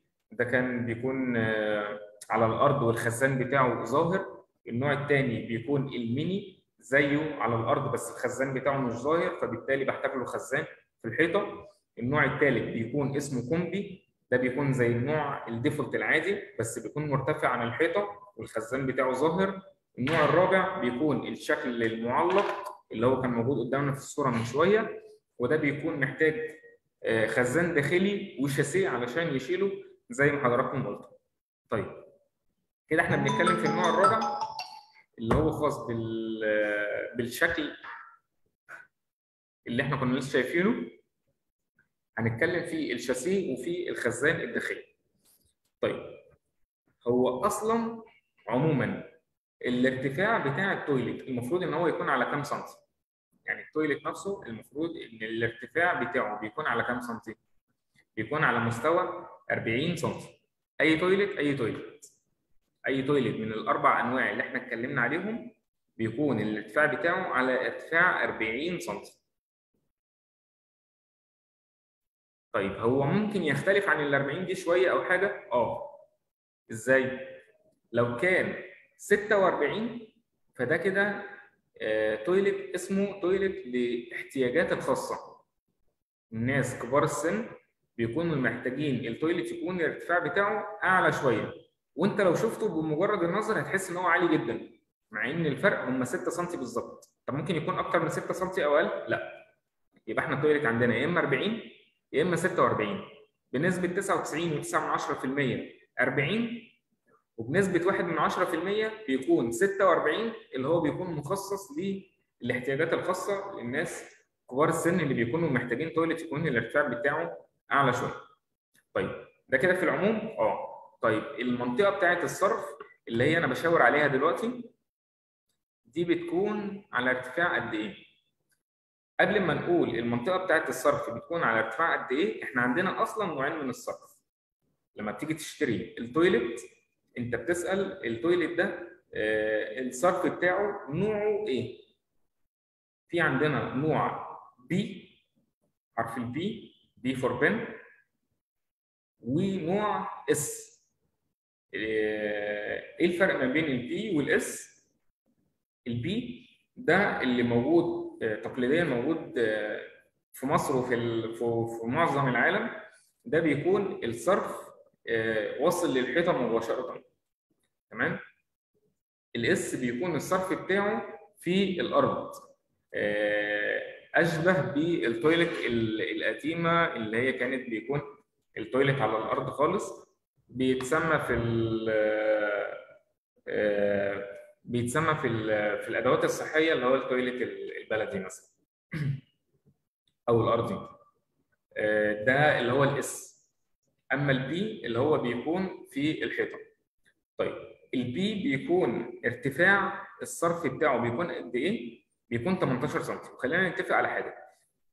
الارتفاعات اللي أنا بتكلم فيها دي كلها بتكون ارتفاع من بعد ما السيراميك يكون اتعمل. يعني من وش السيراميك. طيب التأسيسات اللي أنت بتقولها كلها تتعمل قبل السيراميك. إزاي إن أنا هقيس المسافة دي بعد ما السيراميك يتعمل؟ لأن الراجل بتاع فني السباكة والسيراميك لما بييجوا يشتغلوا بيعملوا حاجة اسمها شرب السيراميك. يعني إيه شرب السيراميك؟ شرب السيراميك ده إن هو عبارة عن بياخد خيط من أول باب الشقة لحد ما يلف بيه الشقة كلها علشان يعرف ارتفاع الس- السيراميك عنده هيكون كام. وبيبدأ يشتغل من على الخيط ده. الخيط ده بيتسمى الشرب. تمام؟ طيب. في سؤال أو حاجة؟ مفيش. ماشي نكمل. طيب آه، الارتفاع بتاع الصرف بيكون على ارتفاع كام؟ عندنا قلنا إن إحنا عندنا أربع أنواع من ال toilet في اثنين بيكونوا على الأرض واثنين بيكونوا معلقين. الاثنين اللي بيكونوا على الأرض بيكون الأرضي والميني. الاثنين المعلقين بيكونوا ال combi والمعلق. الاثنين اللي على الأرض بيكون الارتفاع بتاع مستوى الصرف بيكون 18 سم الاثنين المعلقين بيكون ارتفاع مستوى الصرف بيكون 23 سم تمام كده؟ طيب. خلينا نجنب ال- ال toilet الأرضي لأنه مش هيكون فيه مشكلة ونتكلم عن ال toilet المعلق. ال toilet المعلق اللي هو الخزان بتاعه قدامي دلوقتي القطعة البلاستيكية ال orange اللي موجودة الكبيرة اللي موجودة تحت قدامي دي دي مفترض إن هي تكون على ارتفاع كام؟ من النص بتاعها من الاكس بتاعها من النص بالظبط بتكون 23 وبالمناسبة برضو إحنا أي ما أي مسافة إحنا بنقولها بتكون من الاكس بتاع المسافة دي. يعني بتكون من نص ال- المسافة بالظبط. مش من أول الفتحه ومش من آخرها. يعني مش بقول لك إن هي 23 من أول ال- الفتحه من فوق أو 23 من الفتحه من تحت. لا هي من المنتصف بالظبط اللي إحنا بنسميها الاكس الفنيين بيسموها الاكس بتاع المسافة من النص بالظبط. نفس الشيء لما كنا بنتكلم عن الخلاطات أي مسافة إحنا كنا بنتكلم عنها كنا بنتكلم عن منطقة المنتصف بالظبط. تمام؟ طيب. فهنا المفروض إن المسافة دي تكون على ارتفاع 23 سم تمام؟ طيب. ده كده المنطقة اللي أنا هاخد المية من الخزان وأدخلها لل toilet علشان آه آسف آسف. دي المنطقة اللي هتاخد من ال toilet وتخرج ليها علشان تصرف على منطقة الصرف. مرة ثانية عشان أتلخبط. ال 23 هي المنطقة اللي أنا. اللي الخزان أو الجزء ده هيستقبل من التويليت علشان يصرف على ماسوره الصرف العمومية. تمام؟ على ارتفاع 23 سم تمام؟ طيب. المسافة اللي بعد كده ال toilet ده هيتشال إزاي؟ ال toilet ده بيتشال على مسمارين التثبيت اللي حضراتكم شايفينهم دول في مسمارين لونهم orange خارجين من الخزان. المسمارين دول المسافة ما بينهم 18 سم وفوق المستوى بتاع الصرف ب 10 سم يعني المسمارين دول ارتفاعهم من الأرض هيكون كام؟ 33 سم بالظبط. لما منطقة الصرف كانت 23 ودي فوقيها ب 10 سم يبقى المسمارين دول فوق الأرض ب 33 سم تمام؟ طيب. قلنا إن المسافة ما بينهم 18 سم طيب. أنا شايف إن في فتحتين تانيين يمينهم وشمالهم. الفتحتين دول بتوع إيه؟ الفتحتين دول ملناش دعوة بيهم. طب هم بتوع إيه؟ الفتحتين دول المسافة ما بينهم 25 سم هم بتوع إيه؟ هم بتوع التأسيس لبعض موديلات ال toilet اللي مش موجودة في أي حتة في العالم غير في دولة كندا. قولا واحدا. يعني أنا لو جبت أي toilet من العالم من أي brand هيركب على المسافة بتاعت ال 18 سم دول آه. طيب الاثنين التانيين دول لازمتهم إيه؟ الاثنين التانيين دول علشان بعض الموديلات موجودة في دولة واحدة بس في العالم اللي هي دولة كندا. تمام كده؟ فيما عدا ذلك إحنا ملناش دعوة بيهم خالص. تمام؟ إحنا بنشتغل على المسافة بتاعت ال 18 سم أنا ذكرت الاثنين دول علشان أحيانا بيعملوا لخبطة لبعض الفنيين في التركيب. أنا بشتغل على المس... الفتحتين القريبين من بعض اللي هي المسافة ما بينهم 18 ماليش دعوة بالفتحتين البعاد اللي هم المسافة ما بينهم 25 طيب. شايف إن في قطعة ثانية بلاستيكية كده موجودة فوقيهم في النص؟ القطعة دي بتاعت إيه؟ القطعة دي هي متصلة بالخزان مباشرة ودي القطعة المسؤولة إن هي تاخد من الخزان وتودي لل toilet. القطعة دي بتكون فوق المسمارين ب 2.5 سم عايز حد يكتب لي في ال comment القطعة دي هتكون مسافة ما بينها وما بين السيراميك كام سنتي؟ هي بتكون فوق المسمارين ب 2.5 سم عايز أعرف هي هتكون ما بينها وما بين السيراميك كام سنتي؟ هكمل لحد ما حد يقول. طيب آه دي كده اللي بتاخد من الخزان علشان تودي للتويليت علشان هي بتكون مسؤولة عن المية. 35 ونص برافو عليك يا سلمى. بتكون 35 ونص. المسمارين كانوا على 33 هي فوقيهم ب 2 ونص سم فهتكون 35 ونص سم آه 35 ونص 37 هي 35 ونص سم برافو عليك. تمام كده؟ تمام. نكمل. ثم إن إحنا بنوصل للمنطقة بتاعه الجسم بتاع الخزان نفسه ثم فوقيه الجزء بتاع الوش. طيب الوش الضاغط ده بيكون على ارتفاع قد إيه؟ المفروض إن الوش الضاغط ده أنا ماليش دعوة بارتفاعه لأني هو كده كده هو انكلودنج الجسم بال- بالشاسيه بالخزان بالكلام ده كله فأنا مش هتحكم في أي حاجة فيه. طيب منطقيا كده صح كده؟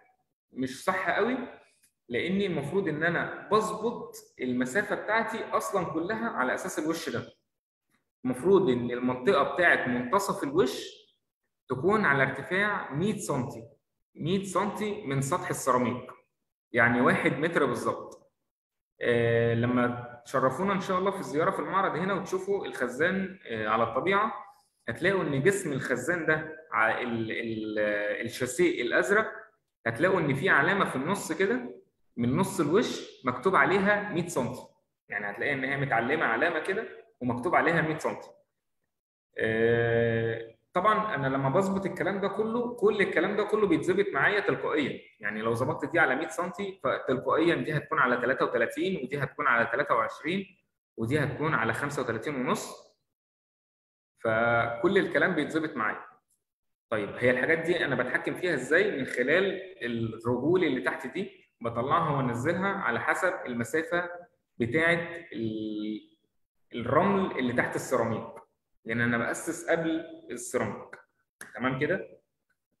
آه، الجزء اللي أنا. اللي إحنا بنتكلم فيه حاليا هو مهم فلو كان في أي لخبطة حاصلة عند أي حد وقفني وقول لي عيدها تاني ما عنديش أي مشكلة. طيب نكمل. العرض بتاع الخزان نفسه ده بيكون قد إيه؟ العرض بتاع الخزان بيكون آه، المسافة بتاعته بتكون حوالي 35 أو 40 سم يعني المسافة دي كده كلها بتكون من 35 ل 40 سم طيب 35 ل 40 سم دي بتتحد- بتتحدد على حسب إيه؟ بتتحدد على حسب نوع ال brand اللي أنت بتشتري منه الخزان. إحنا عندنا أكتر من brand في جروهي في ديورافيت في جبرت جبرت وديورافيت على فكرة لغاية من قريب هم كانوا شركة واحدة. كمان عندنا كلودي راك. كمان في روكا. دول آه، أشهر brandات موجودة آه، في محبوب وموجودة برضو في السوق. آه، أقولهم مرة تانية في جروهي في ديورافيت جبرت كلودي راك روكا. دي البراندات ال- الأشهر اللي موجودة للخزانات دي. طبعا ما ننساش إيديال وإن كانت إن هي مؤخرا ما بقتش بتنتج بشكل كبير بس هي برضو تواجدها موجود. عفوا مقاس 35 و40 ده عبارة عن إيه؟ ده العرض بتاع الشاسيه كله الشاسيه كله بيكون العرض بتاعه 35 أو 40 سم من 35 ل 40 سم دي مساحة الشاسيه اللي بتكون موجودة جوه الحيط. طيب أنا هيفيدني بإيه إن أنا أعرف مساحة الشاسيه دي لأن بعض الناس بت بتبني على الشاسيه ده بتعمله زي جلسة كده وتبني حواليه يعني تقفل حواليه بناية كده وبيستخدموا إن هو من السطح بتاعه من فوق يحط عليه أي أدوات الشاور والكلام ده. طيب. آه لغاية دلوقتي الدنيا تمام؟ ده كده بالنسبة للخزان الدفء خاص بالتويليت في أي سؤال محتاجين إن إحنا نرجع نعيد عليه مرة ثانية خلينا نتكلم بقى عن الجزء الخاص بالصيانه والتحمل بتاع الخزان ده آه، بيكون إزاي؟ نتكلم في الجزء الأول اللي هو الجزء الخاص بالصيانه بصوا يا جماعة ال- الوش اللي قدامي ده ده بيكون ظاهر خارجيا بعد التأسيس ده الوش اللي أنا بستخدمه علشان أضغط عليه علشان يصرف المية. الوش ده بيكون سهل الفك والتركيب. إذا حصل أي مشكلة داخل الخزان أنا بعمل لها عملية الصيانة من خلال الوش ده. إزاي؟ إن أنا بفك الوش ده وبدخل آه، إيدي أفك المكنة بتاعة ال- الصرف اللي هي بيسموها الأسانسير. بفك المكنة دي خالص وأخرجها أغسلها تحت ال- الحوض بالمية. طبعا هي المشكلة اللي ممكن تحصل هي مشكلة إن بيكون في انسداد أو عطل في الضغط. دي المشكلة الوحيدة اللي ممكن تحصل. غير كده إن شاء الله مش بيكون في مشكلة. بس أنا بقول لك إذا حصل مشكلة فالطريقة بتاعة الصيانة بتكون كده. بفك الوش وبفك المكنة بتاعة الأسانسير دي بالكامل وبغسلها تحت المية وبعمل لها عملية تنظيف وأرجع أركبها مرة ثانية وبالمناسبة الكلام ده كله بيكون داخل الضمان أقدر إن أنا آه، أتصل بالضمان يجوا يعملوا آه، الصيانة بشكل كامل. آه، برجع الكلام ده كله مرة وب- وبربطه مرة تانية وما بيكونش عندي فيه أي مشكلة. طيب مش هيكون عندي مشكلة إن السلك مثلا ممكن الواير يتقطع أو يكون عندي مشكلة إن ال wire دوت يتفك من مكانه اللي هو بتاع الضاغط أو السوسته تخرج أو الكلام ده كله. مش هيكون عندي المشكلة دي لأن الضاغط ده بيكون ضاغط آه، هيدروليك. آه، بيكون ال- الخرطوم بتاع التوصيل بيكون بضغط الهواء. فمفيش wire أصلا. كله بيكون بضغط الهواء. آه، إيه تاني مشاكل ممكن إن هي تحصل أو ممكن العميل يسألني عنها؟ آه، المشكلة الأشهر واللي بتحصل بسبب فني ال- السيراميك مش فني السباكة. ودي آه، خدوا بالكم منها جدا. مبدئيا القطع البلاستيكية ال orange اللي أنتوا شايفينها دي حاول إن أنت ما تشيلهاش خالص إلا بعد تركيب السيراميك ولما تيجي تركب ال toilet لما تيجي تركب الخزان ده القطع البلاستيكية ال orange اللي انت شايفها دي ايا كانت اللون اللي هيجي لك الخزان بيه ما تشيلش القطعة دي نهائي إلا بعد ما تركب السيراميك وخلاص هتركب ال toilet ليه؟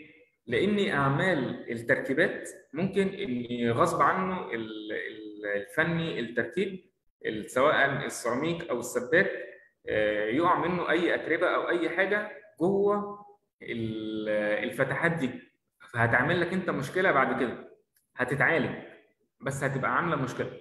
فحاول إن أنت ما تشيلش القطعة دي تماما إلا بعد انتهاء عملية التركيب. دي الجزئية الأولى. الجزئية الثانية الخاصة بالوش ده. لو لاحظتوا هتلاقي إن في مسافة كده في مسافة بيضاء بلاستيكية موجودة ما بين الوش وما بين جسم الخزان نفسه. المسافة دي عبارة عن إيه؟ المسافة دي عبارة عن هي مسافة أمان علشان بروز السيراميك. يعني إيه؟ يعني أنا بعد ما دفنت الجسم ده جوه الحيطة وقفلت عليه السيراميك أنا ما أعرفش السيراميك هيبعد عن الخزان بمسافة قد إيه. فبسيب القطعة البلاستيكية دي إن هي تخرج بره السيراميك بمسافة كبيرة. وبعد ما بخلص السيراميك بقطع القطعة البلاستيكية دي بقطعها البارزة دي بقطعها وبركب عليها الوش. المسافة دي بتكون مسافة كافية إن هو يركب السيراميك براحته. تمام؟ طبعا دي بتكون أهم مسافة بالنسبة لي لأن المسافة دي اللي هتكون ظاهرة ليا بره وهتكون عنصر التحكم بتاع الضغط في صرف المية. بالمناسبة الزرارين دول هو زرار ضغط لصرف الخزان بالكامل أو زرار ضغط لصرف نص الخزان بس. طيب. آه فالقطعة البلاستيكية دي بتكون مسافة أمان علشان أركب السيراميك براحتي ثم بعد انتهاء عملية التركيب بتاع السيراميك بقطع القطعة البلاستيكية دي وبركب آه الوش بتاعي. طيب آه السؤال الأشهر عموما من العملاء آه هو أنا لو استخدمت ال toilet ده وفي حد آه سمين شوية استخدمه مش ممكن إن هو يقع أو يحصل له أي مشكلة؟ لأ خالص مش بيحصل المشكلة دي. لأن المسامير دي بتكون تحمل وزن لحد 400 كيلو. 400 كيلو. تحمل وزن للمسامير دي. طبعا أنت بتستخدمها بعد تركيب التويلت تقدر إن أنت تختبر الموضوع ده إن أنت تحط وزن 400 كيلو على ال toilet مش هيتأثر. محدش يحاول يختبر المسامير وهي لسه ما ركبش عليها ال toilet يعني تطبيقا كده للنظرية الفيزيائية بتاعت الاتزان. ما ينفعش إن أنا حتى أطلع فوق المسامير دي على مسمار مثلا واحد أو حتى على المسمارين بجسمي وأعمل عليهم الحمل.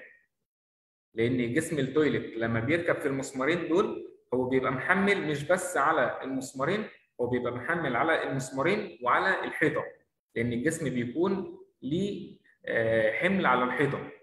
تمام؟ فلو كان العميل محتاج إن هو يختبر الوزن ده فأخليه يختبر الوزن بعد ما بركب ال toilet مش يختبر المسامير. تمام كده؟ طيب. آه، في أي حد محتاج إن أنا آه، نتكلم مرة تانية في الخزان ده أو نعيد أي جزئية تانية عنه؟ طيب ده كده كان الجزء الخاص بالخزان.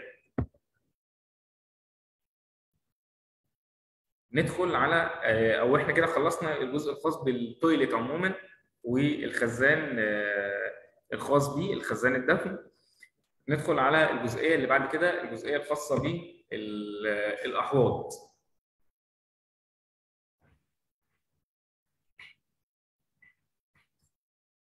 آه، الجزئية الخاصة بالأحواض إحنا عندنا أكتر من نوع من الأحواض. في أحواض اللي هي الديفولت التقليدية اللي إحنا متعودين عليها اللي هي بيكون تحتها الركبة أو الحوض. ده نوع. في نوع تاني من الأحواض بيكون آه، الحوض بيكون فوق سطح الرخامة زي اللي إحنا كنا عارضينه من شوية اللي هو موجود آه، قدامنا دلوقتي جنب التويلت الصورة الثالثه دي. ده بيكون حوض فوق الرخامة. نفس الشكل بيكون ساقط في الرخامة. ونفس الشكل ينفع إن هو يكون كمان تحت الرخامه تمام؟ طيب إحنا عندنا قاعدة متفقين عليها عموما إن ارتفاع الحوض بيكون على كام سنتي؟ بيكون على 85 سنتي. ارتفاع حوض الحمام بيكون على 85 سنتي.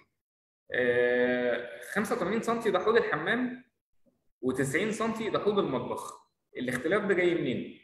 يعني ليه ليه الاختلاف ده؟ 85 سم في حوض الحمام ده مسافة مناسبة إن أنا أقدر أستخدم الحوض سواء للوضوء أو إن أنا أستخدمه استخدام شخصي آه، هغسل إيدي مثلا أو أي حاجة. ده بالنسبة لحوض الحمام. بالنسبة لحوض المطبخ فأنا دايما بكون بستخدم آه، الحوض آه، عشان لغسيل أدوات المطبخ. فبيكون استخدامي ليه دايما مباشرة فوق الحوض. فبيكون المسافة بتاعته 90 سم ولو زودت عن كده مش هيكون عندي مشكلة. طيب في سؤال هنا. هو combi toilet الخزان مش ظاهر بيبقى نظام تركيب وتأسيس نفس المعلق؟ حالا هقول لك. آه، حالا حالا.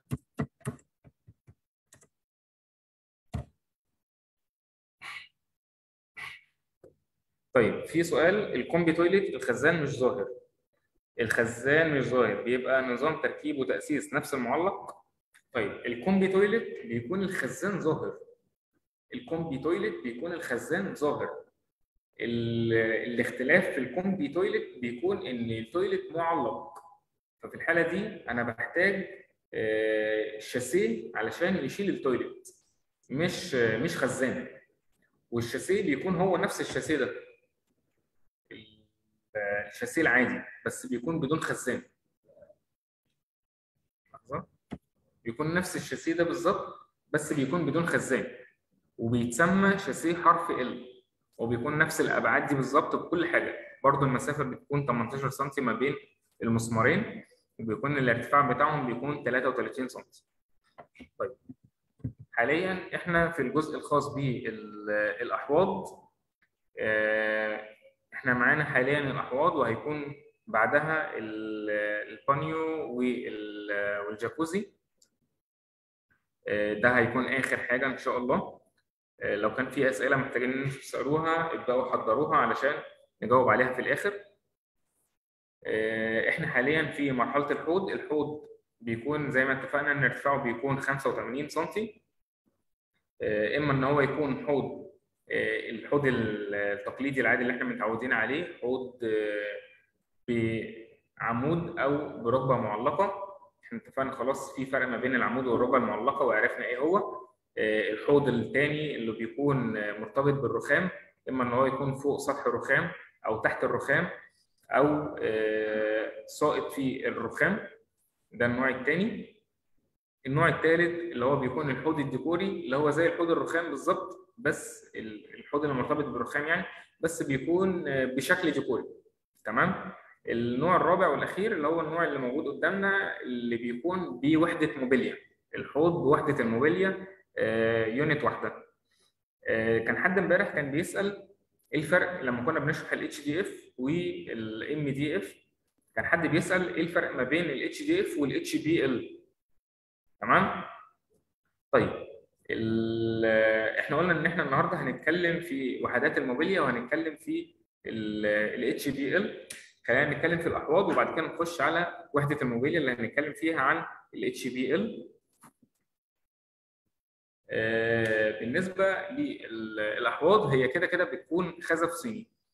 اللي أنا محتاج ان نكون إحنا واخدين بالنا منه إن الحوض ايا كان الجزء اللي متركب تحتيه سواء كانت الركبة المعلقة أو سواء كان العمود أو وحدة الموبيليا فهي مش بيكون ليها أي عنصر آه، حمل للحوض.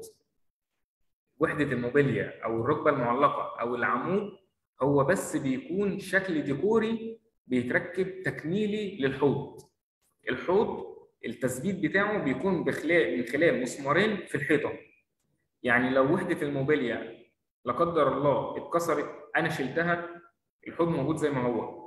ال- العمود اللي بيكون شايل الحوض اللي أنا شايف إن هو شايل الحوض لو لا قدر الله اتكسر أو أنا شلته الحوض مش هيتأثر تماما. تمام كده؟ طيب آه، طبعا الحوض المسمارين بتوعه مش بيكون بالحمل بتاع الخزان عشان محدش يستخدم الحوض إن هو آه، ممكن إن هو يسند عليه حاجة أو إن هو يستخدمه إن هو يقف عليه حتى يعني. طيب ده كده بالنسبة للحوض. آه، ندخل للجزء بتاع وحدة الموبيليا. وحدات الموبيليا إحنا عندنا منها أكتر من شكل. يا إما الشكل آه، الوحدة نفسها تكون وحدة خشبية أو إن الوحدة نفسها تكون PVC. تمام؟ طيب الوحدة الخشبية الخشب الداخلي بيكون أكتر من نوع. في يا إما الكونتر أو ال MDF ال MDF إحنا اتكلمنا عنه إمبارح اللي هو بيكون فرم من ال- الأخشاب وعليها مواد صناعية أو الكونتر اللي هي بتكون عبارة عن شرايح من الخشب المضغوطة مع بعضها. تمام كده؟ طيب. ال- الشكل الخارجي أو السطح الخارجي اللي بيكون موجود على الخشب هو بقى ال HPL أو ال PVC أو الفورمايكا أو أي نوع من أنواع مواد الحماية. تمام؟ طيب الفروقات ما بينهم عاملة إزاي؟ الفروقات ما بينهم مش هتشغلني كتير لأني العنصر الأهم والأساسي بالنسبة لي هو متقفل إزاي. آه عايز أقول لكم على سر كده إن وحدات الموبيليا من أكتر الحاجات اللي بتتحكم في عنصر ال- السعر بتاعها مش بيكون الخامات. قد ما بيكون الفينش بتاعها يعني إيه؟ يعني أول حاجة بتبوظ في وحدة الموبيليا أو في أي سطح خشبي بيكون الحروف بتاعته اللي هو ال- الحزام بتاع التقفيل بتاعه. الحزام بتاع التقفيل ده لو متفنش بشكل كويس ده بيفرق في سعر وحدة الموبيليا. طيب ما سهل جدا إن إحنا نفنشه بشكل كويس. للأسف إن وحدات موبيليا كتير جدا بيكون السبب في في إن هي ما يكونش عمر العمر الافتراضي بتاعها طويل إن الفينش بتاعها ما بيكونش أحسن حاجة. ال packing ما بيكونش أحسن حاجة. متخيلين طيب كمان ال accessory بتاعت الوحدة نفسها سواء كانت المجرى اللي بيمشي فيها الدرج بتاع ال- الوحدة أو المفصلات بتاعت الضلف لو كانت وحدة عبارة عن ضلف أو المقابض أو المسامير بتاعت التثبيت بتاعتها. الكلام ده بيشكل جزء كبير جدا من سعر الوحدة. فأنا لما باجي أبص على الوحدة أه ببص على النوع بتاع الخشب بس ببص على ال finish بتاعها أكتر. دي الحاجة اللي أنا أقدر أشوفها وأنا جوه ال store ذات نفسه في محجوب أو في أي store. طيب آه، ده كده بالنسبة لوحده الموبيليا. آه، إحنا متفقين إن وحدة الموبيليا أو أي حوض الحوض على ارتفاع 85 سم تمام؟ أنا بأكد على دي أنا معلش أنا طولت إن أنا اكد عليها بس هي فعليا ترد لنا إحنا مشاكل كتير جدا عند ال sales. يعني في sales كتير جدا آه، بيبقى عندهم مشكلة مع العملاء إن هو بيرجع يقول له إيه وحدة الموبيليا لما جيت ركبتها الاستخدام بتاعها مش آه، مش أحسن حاجة. ليه؟ آه، مش عارف إن أنا أستخدمها الارتفاع بتاعها عالي أو الارتفاع بتاعها قليل فاضطريت إن أنا أفكها. هو مش بيلوم على السيلز هو عارف إن هو ركبها غلط. إذا كان هو اللي هيركبها يعني. فإحنا دايما بنأكد على كده. هو مش بيكون عنده دراية بال... بالارتفاع بتاع التركيب بتاعه بيكون عامل إزاي؟ خصوصا إن المسامير بتاعة التثبيت والشاسيه بتاع التثبيت مش بيكون في أعلى نقطة. فهو مش بيقدر إن هو يشوف ده بنفسه. تمام؟ طيب. آه، ده كده كان الجزء الخاص بالأحواض والتويلت سريعا الجزء الخاص بالبيدي والمبوله إحنا عندنا البيدي والمبوله آه، ده تكملة الجزء الصحي. آه، بالنسبة للمبوله فده بيكون الارتفاع بتاعها لمسامير التثبيت بتكون على آه، 65 سم بالنسبة للبيدي بيكون ارتفاعه هو على الأرض مباشرة والتأسيس بتاع الصرف بتاعها برضو بيكون حوالي آه، 15 سم. هنا التأسيس الصرف بتاع سواء للبيدي أو للمبوله بيكون عبارة عن سيفون سوسته آه، واحد وربع آه، بوصة. الصرف بتاع البيدي والمبوله بيكون عبارة عن سيفون سوسته واحد وربع بوصة. تمام؟ ده كده بالنسبة للبيدي والمبوله طيب ندخل على الجزء اللي بعد كده اللي هيكون خاص بالبانيو والجاكوزي. في أي حد محتاج أي حاجة إن إحنا نتكلم فيها في الجزء اللي فات؟ لو كان في أسئلة محتاجين آه، نعيد عليها مرة تانية اكتبوها أو حضروها نجاوب عليها في الآخر. الجزء الخاص بالبانيو أو آه، الجاكوزي خلينا نبدأ بالبانيو في الأول. آه، كان زمان موجود البانيوهات آه، بشكل خامات مختلف. ال- الشكل الصاج وكان في منها بانيوهات. لو كنتوا سمعتوا عنها قبل كده البانيو الزهر. سواء البانيو الصاج أو البانيو الزهر ده كان بي بيوجه لي بعض المشاكل إن البانيوهات ديت ما بتبقاش أفضل حاجة في الاستخدام لأنها بتكون آه، سهله إن هي تبوظ آه، بيتخرم. سهل إن هي تتآكل. آه، لا قدر الله حد وهو بيستخدم البانيو آه، اتزحلق وقع فيه فهي بتكون صلبة جدا وما بتكونش أمان خالص. لو حد وقع فيه هو بيتعور والإصابة بتاعته فعليا بتبقى يعني لا قدر الله بتبقى صعبة. استبدلنا ده بالبانيو اللي حضراتكم شايفينه في الصورة ده اللي هو البانيو الأكريليك.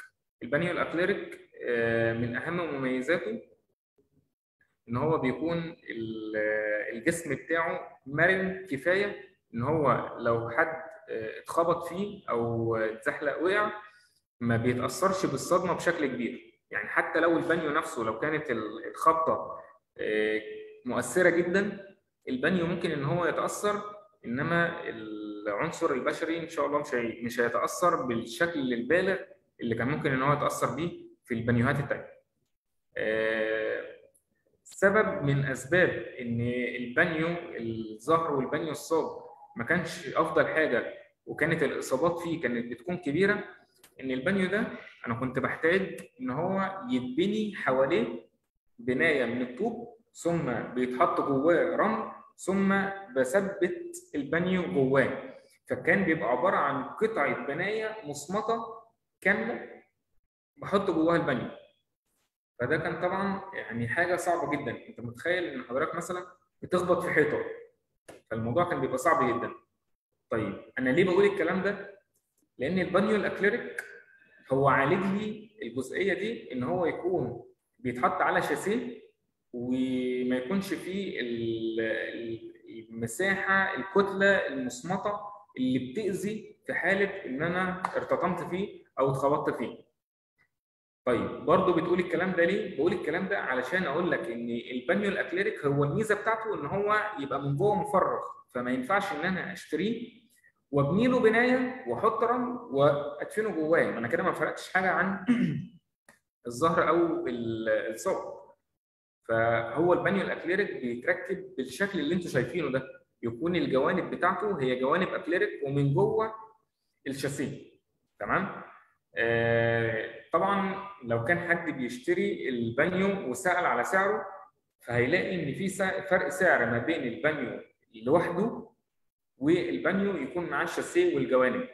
فرق السعر ده بيجي بشكل كبير ناحية الشاسيه. فحاول إن أنت ما ما تشغلش النظرية الاقتصادية في الحتة دي وتستغنى عن الشاسيه وتشتري البانيو لوحده وتدفنه في البناية الطوب.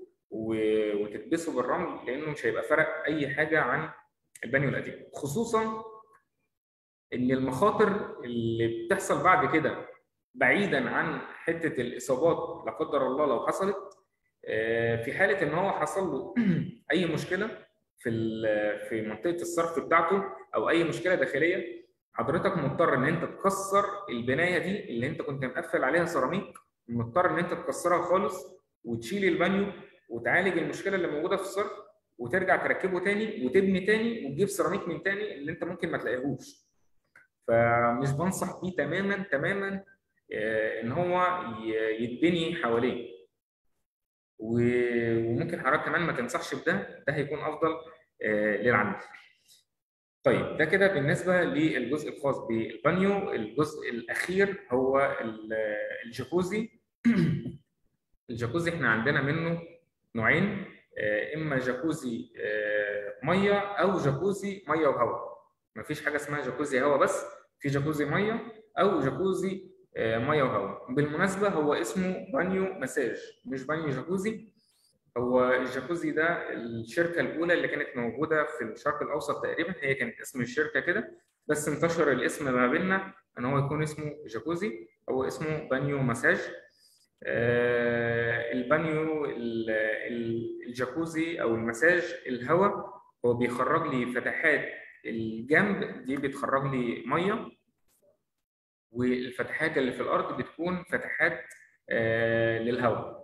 بيختلف السعر ما بين البانيو والتاني على حسب عدد جتات المية وعدد جتات الهواء. طبعا كل ما زاد عدد الجتات أكتر كل ما كان التركيز على عملية التنشيط للدورة الدموية للعضلات في الجسم أكتر كل ما كان السعر أعلى آه، الاختلاف بيكون هنا بس يعني بيكون في اختلاف عدد الجتات آه، هو آه البانيو الصيني. أنا مش فاهم السؤال. هو آه البانيو الصيني مش عارف يعني إيه. طيب آه، نكمل. أنا بس محتاج توضيح لل comment ده. أو للسؤال ده. آه، الجاكوزي زي ما اتفقنا إن هو بيكون آه، جزء آه، هواء وجزء مية.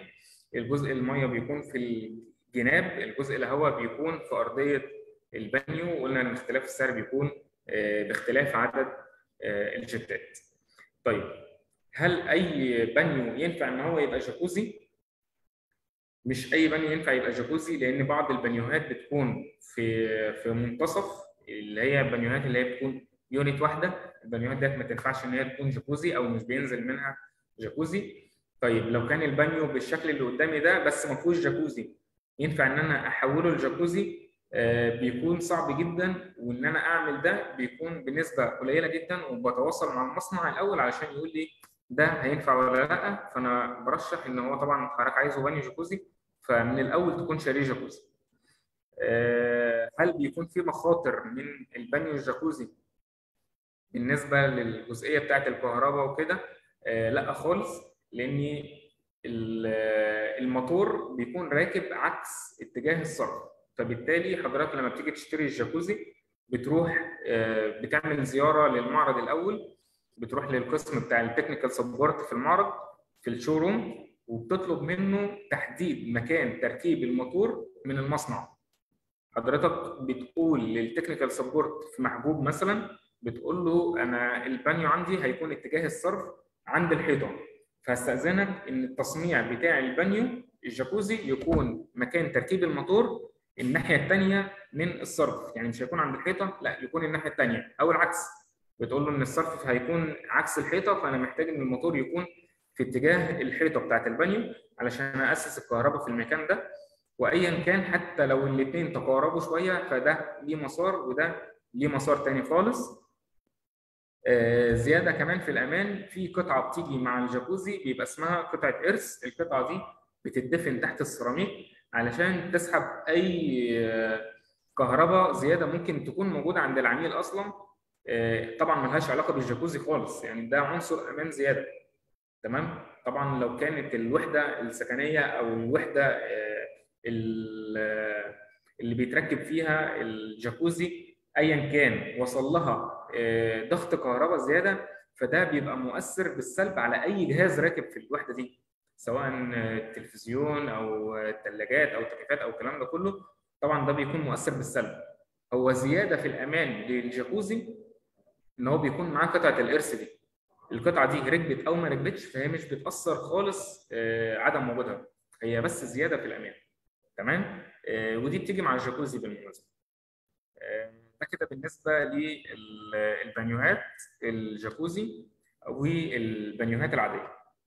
آه، محتاج إن أنا أشوف لو كان في أي سؤال حضراتكم محتاجين إن أنتوا تسألوا عنه.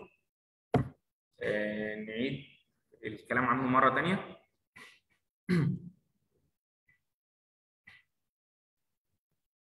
طيب إحنا كده تمام.